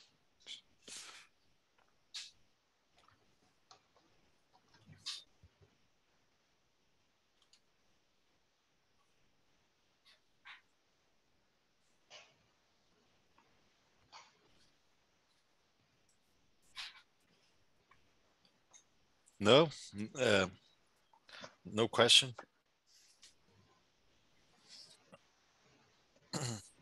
yeah, maybe. Uh, uh, uh oh, Robert. Robert, there's somebody. Yeah, let me go. Robert, please. So, yes, thank you for the presentation and this work. How can we get more political support for subsidies? God knows we need it. yeah. Do you have any ideas? It's, it seems to be so difficult. For the subsidies. For the yes. subsidies. Yes, for this country and for, for overseas too, for that matter. I would say we need a new global financial system also to support for greater uh, We hope that we have this support. So according to this whole, we simulate our model. yes, thank you. Thank you. Well, maybe uh, one remark the subsidies, uh, I mean, the incredible amount of subsidies for the fossil fuel industry. And over time, in the last 50 years, 60 years, they have um, basically been maintained. and there were political forces that actually, uh, um, well, uh, kept this going. But uh, in uh, in um, Glasgow now, this was one of the issues to reduce the subsidies of fossil fuel. So it will be a hard fight too.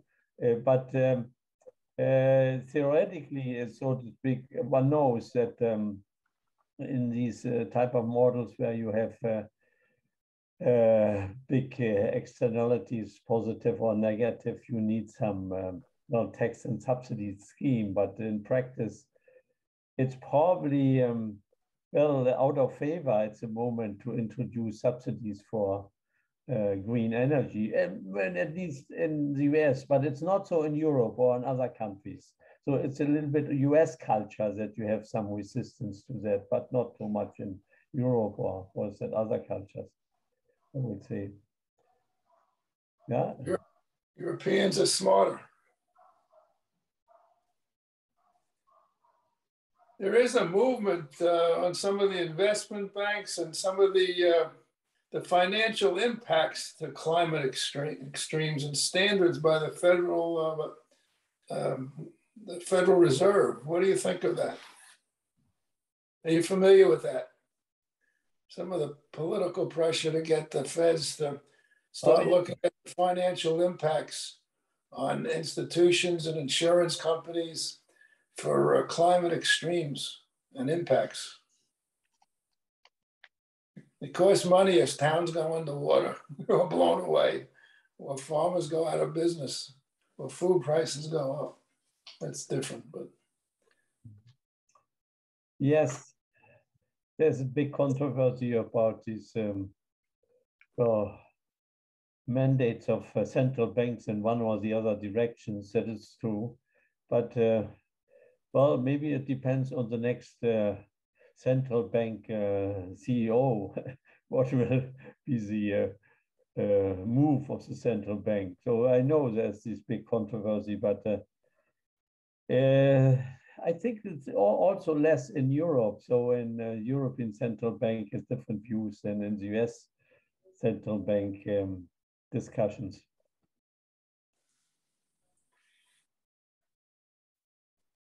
You need better politics. Yes. Thank you. I tried to get you some support with uh, some doctors who worked on the climate impacts also on our children that could be a big political change, I believe. Maybe they can get more help when we can work with them. The UN mental health uh, um, uh, NGOs did a whole report on the impact of climate change. I sent it. I'll send it to you later. I sent it to former President Van Zandt, I say, but I tried to get more more people looking at your your work important work. And you pay for these things. Thank you. Good.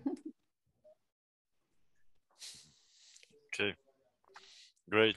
Great discussion. Thank you. So, um, Behnaz, you want to do any remark or uh, can we move or do we move to the next uh, presenter? No, I don't have. Thank you. Okay, no, th thank you for for joining us uh, from from Italy. Are you in Italy right now? Yes. From yes, Italy. I'm in. Yes. Hi from Italy.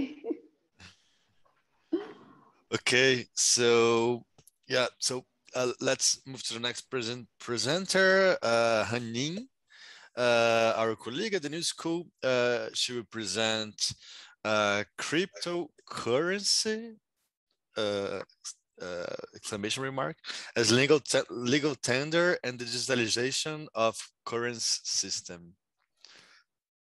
Anin, please, I, I guess Behnaz you have to stop sharing your screen, please, so Anin can present her cryptocurrency work.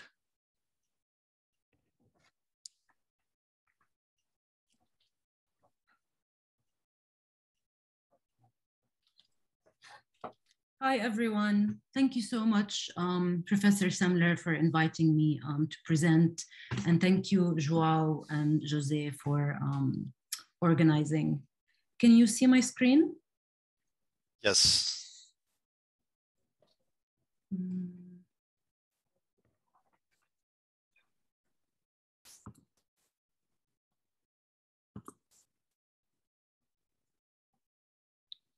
Okay. There we go. Okay, so um, today I would be um, talking about cryptocurrency, specifically Bitcoin, and to try to answer the question if Bitcoin or a cryptocurrency is actually money. Um, so the research that I've been working on in general has to do with money and especially the digitalization of money. Um, so for the agenda today, we're just going to briefly go over the different kinds of money that are being discussed um, right now in policy circles. And then we will take a look at the Bitcoin ecosystem. And after we get a brief understanding of the Bitcoin ecosystem, and bear with me because it's complex and technical, and if you have questions in the middle, please do feel free to um, stop me for clarifications. And then we will go into um, answering the question of, is Bitcoin money? And the way I'm trying to answer this question is by this um, setting up this triangular approach that um, looks at the functions of money and then looks at the different theoretical frameworks um, in, in, how they view money, and then look at a third um, category, which I call supply and intermediation. Um, and that looks at the supply of money and then who is intermediating it, basically. And then we can discuss a little bit of policy implications um, for a wider adoption. But the point is the conclusion that I would like to arrive to, the hypothesis, is that Bitcoin um, and similar currencies or assets are actually not money, um, as hopefully I will be able to persuade you to believe. Now, um, a quick disclaimer, this research is very preliminary. So the framework is still not developed fully. So I would like to get um, feedback and ideas, but just keep that in mind as I'm going through as I'm going through the work. Okay, so the type of digital money that we have now is the central bank digital currencies. And that's just a digital uh, form of fiat, basically. It's just a technological improvement on fiat. And then we have stable coins, which are coins by private entities that are supposed to be backed one-to-one by a national currency. An example of that is um, Facebook's Project Libra, which is now called Diem, which has been put on hold because um, policymakers think is very problematic, which they have every um, reason to, to, to think so. But again, this is something that's still backed by um, um, a national currency. And then there's, there's um, cryptocurrencies, and I will be using Bitcoin strictly as an example for this analysis. And Bitcoin is something that is not backed or guaranteed by anything or any entity. So it's not, it's not safe, it's risky, um, and it should be heavily regulated, in my opinion. Okay, so some of the literature I use here, I will highlight two, um, which is um, Abadi and Brunnermeier's Blockchain Economics and um, Makarov and Schoar uh, Blockchain Analysis um, of the Bitcoin market. I mean, the, the literature is growing and the list I'm using is large, and but those are the two main um, important works that I've been building on.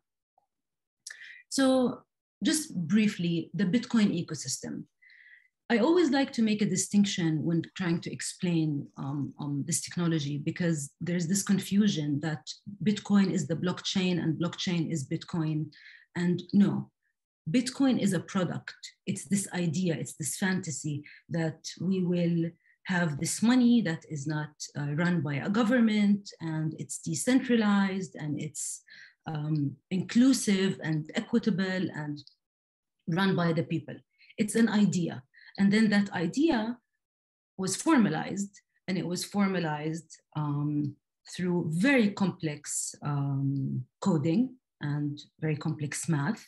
And it lives on the technology, which is the blockchain. The blockchain, in a very simple sense, is a network um, a ledger, basically for data keeping. The blockchain can be centralized or decentralized. It's not by nature a decentralized network. It can be either or.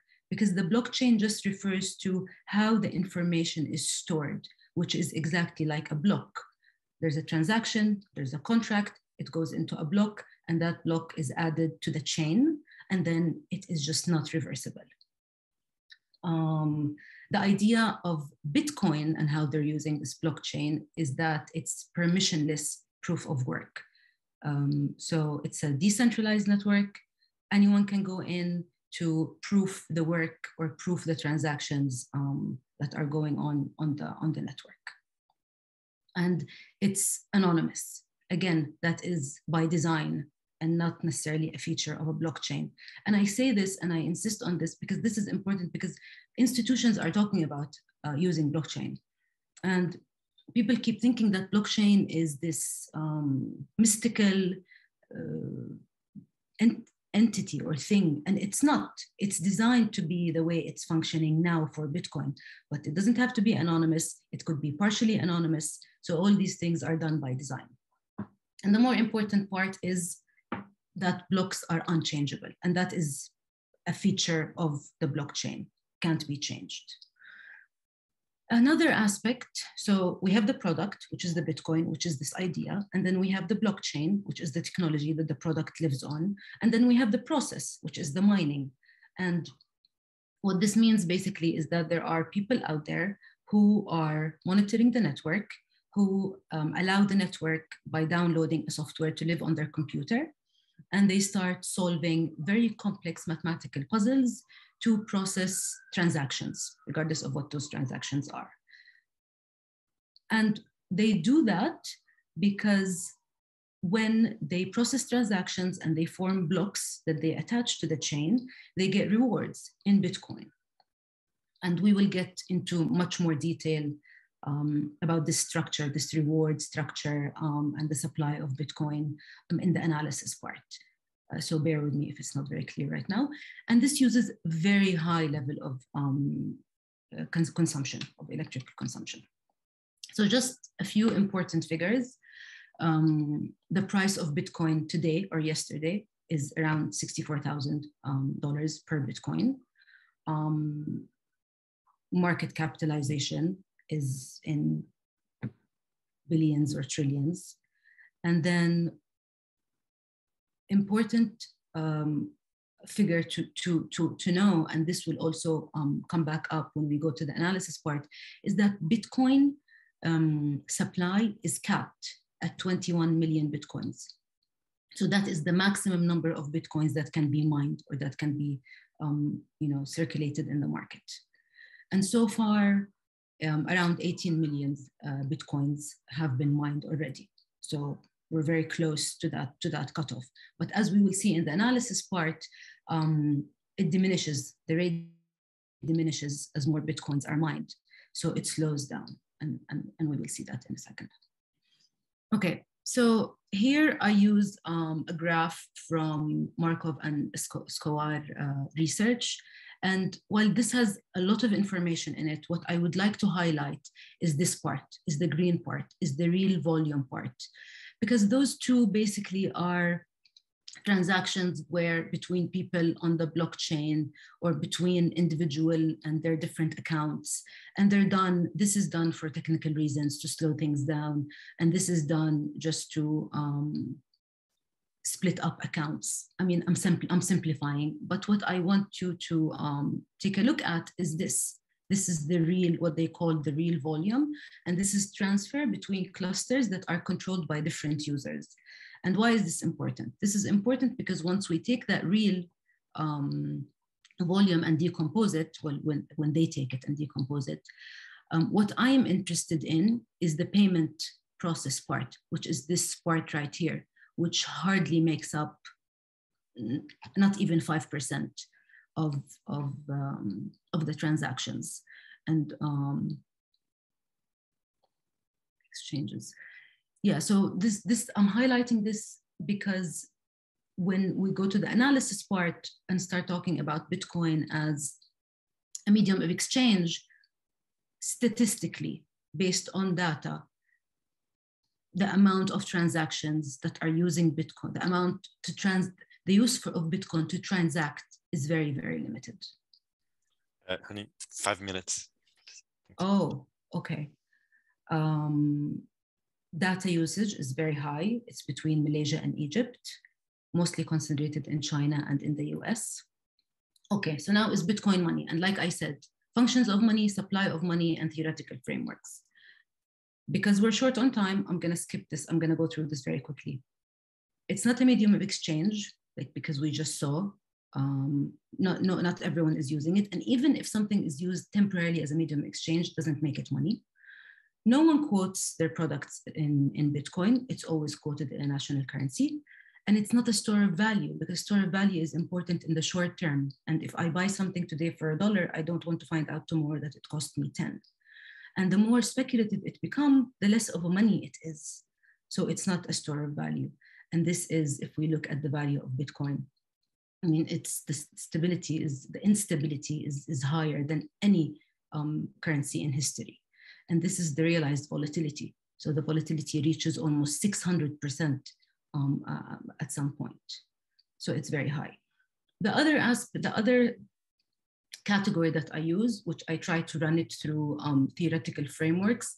And again, because we're short on time, it, the answer is never yes, regardless of which theoretical framework I follow to answer the question of is Bitcoin money? It's not a commodity, it's not a state invention, not a legal tender, it's not on anyone's balance sheet. So no, by any theoretical framework, it's not um, it's not a legal tender and it's not it's not money. Okay, now the, the more important part, which is which is the supply of um, the supply and intermediation this is just to show you how, how it's, it happens. Someone does a transaction, they publish it, it takes part in a block, and then it's published to the network asking for people to start to mine it. And then the mining process happens. It has to get approved. Um, and the miner gets the award, and the person that was supposed to receive the original payment up here gets the money. Now, in the supply, the supply of Bitcoin is what I'm really interested in. And it's important because it's it decreases. So awards used to be 50 coins per block. And every four years they get halved. So in 2012, the award per block is 25 Bitcoins. In 2016, the award became 12.5 Bitcoins. And in 2020, it became 6.25 Bitcoins. And now, now that's important because let me let's let's just look at this briefly. As this supply goes down, as the reward goes down um, of Bitcoin, the difficulty of mining goes up. So it's not like you can mine um, as many Bitcoins or as many blocks as the supply goes down. So this is an interesting relationship here that I would like to um, look at and explore. And basically here we're looking at the total Bitcoin in circulation. So we see that it's increasing, but at a decreasing rate. And the red line is the average price. So we see how the price um, starts to shoot up um, in 2016. And then this is the, net, the, the yellow line is the network difficulty. So difficulty is becoming increasingly harder and harder to mine, which means um, it requires more time and more importantly, it requires more energy. Um, so this is another graph that um, is interesting because it's telling us um, where the halving happened. So this is the first halving, 2012, and then 2016, and then 2020. And if the yellow line uh, is the price of the Bitcoin, and we see that there's a jump, there's a shoot up every time after the halving. And soon we will be able to see if this if this jump will happen. Sorry about that. If this jump will happen again here.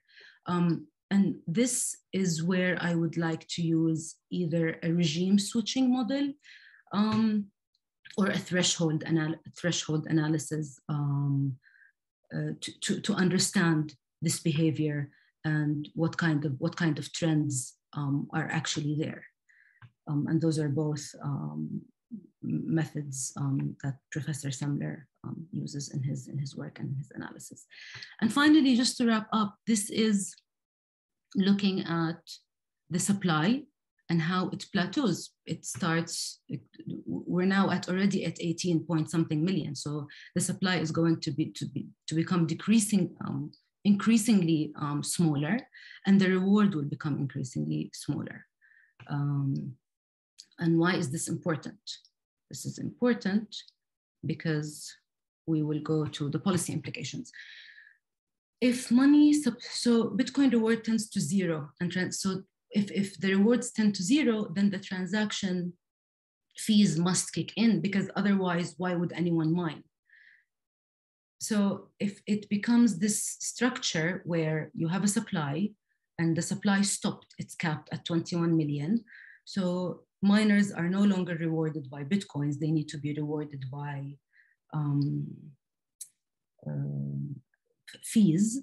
And miners are already pooled. Four of the biggest mining pools make up more than 50% of uh, miners. So who will be intermediating Bitcoin? Because it, it needs to become organized at that point. Um, and how is that better or safer than our um, current system? Also, because the monetary base cannot be expanded, the currency would, if it continues to be used, it would be subject to severe deflation, um, which is which is very problematic. Um, and again, it's we don't know who it's controlled by. Um, so it's it's it's the, the systematic risk in entrusting this control um, of a widely used store of value. It won't become a widely used, but even if it does, to unknown entity is entities is very risky. And then to expand the supply of Bitcoin after the limit is reached, after the limit is reached, requires fractional reserve.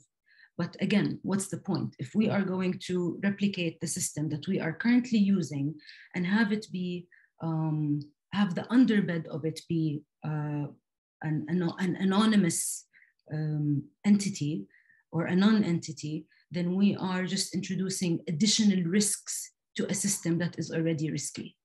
Um, so the answer to the question is no, Bitcoin is not money. And I am um, confident that once um, the models are applied and the analysis is, is, is taken to a more deeper, deeper level, this will still be the answer. Thank you very much. Okay, great, Henny. Thanks, thank you.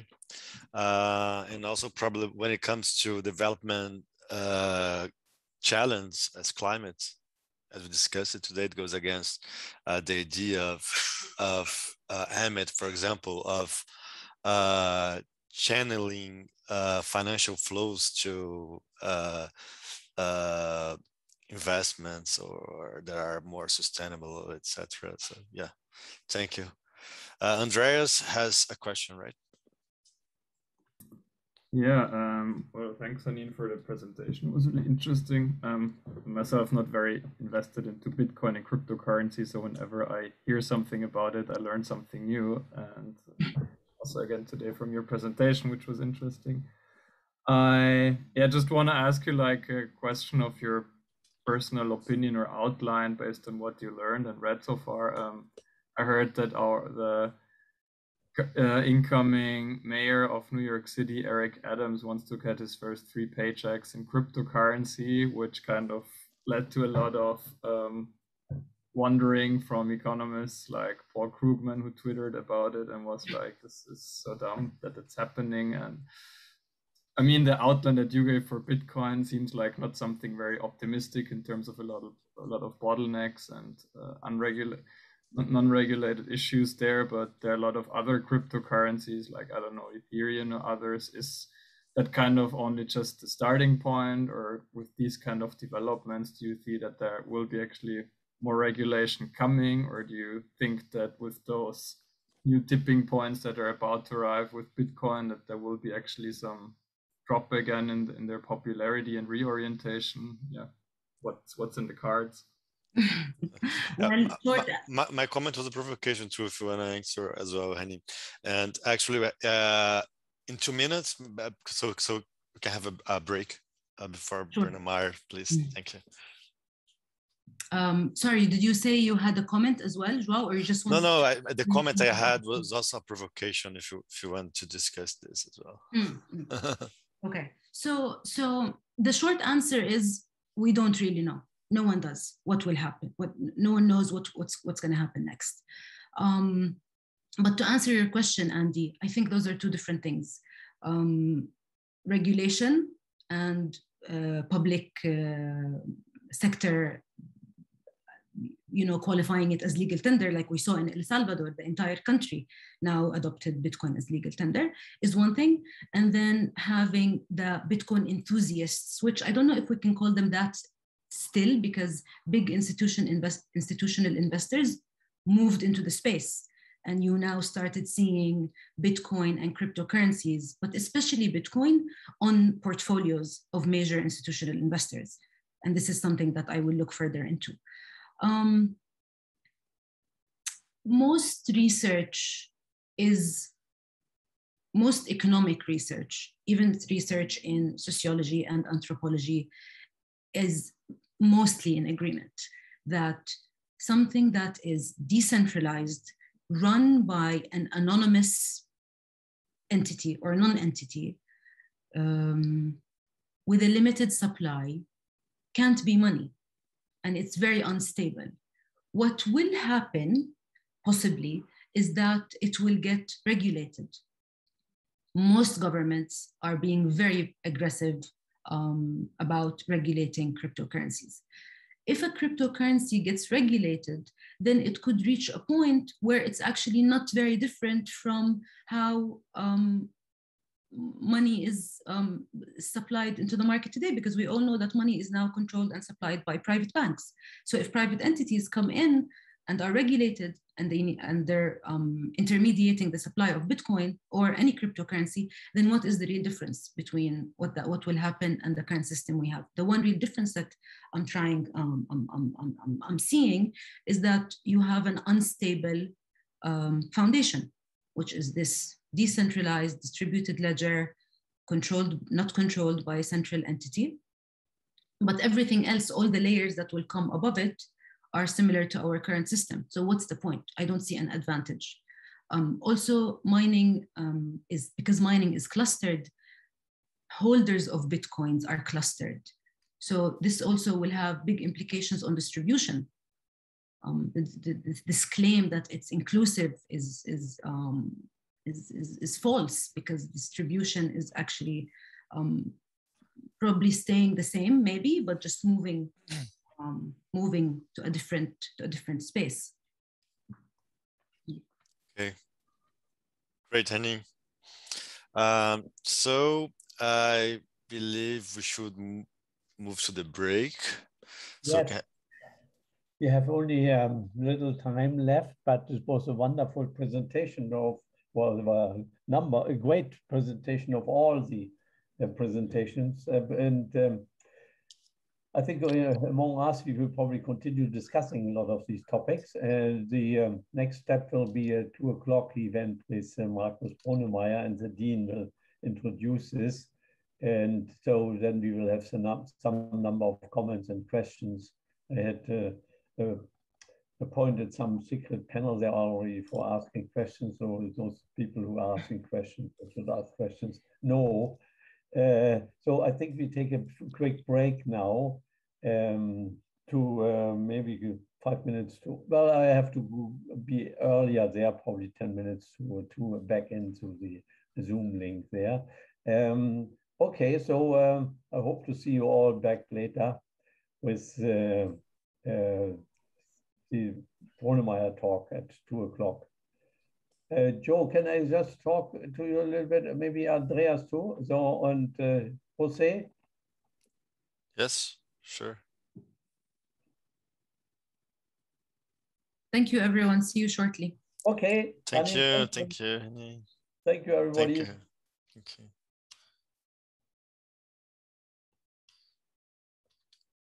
Oh, okay. There's a Uh, just quickly to organize this. So um, in case something goes wrong, Andreas know his, uh, knows his job already. Also, you should keep track of the chats there and maybe um, communicate to, me or you read them there when you have questions. I will go through probably three, four uh, commentators or people who ask questions. I'm not sure if uh, Teresa will be there.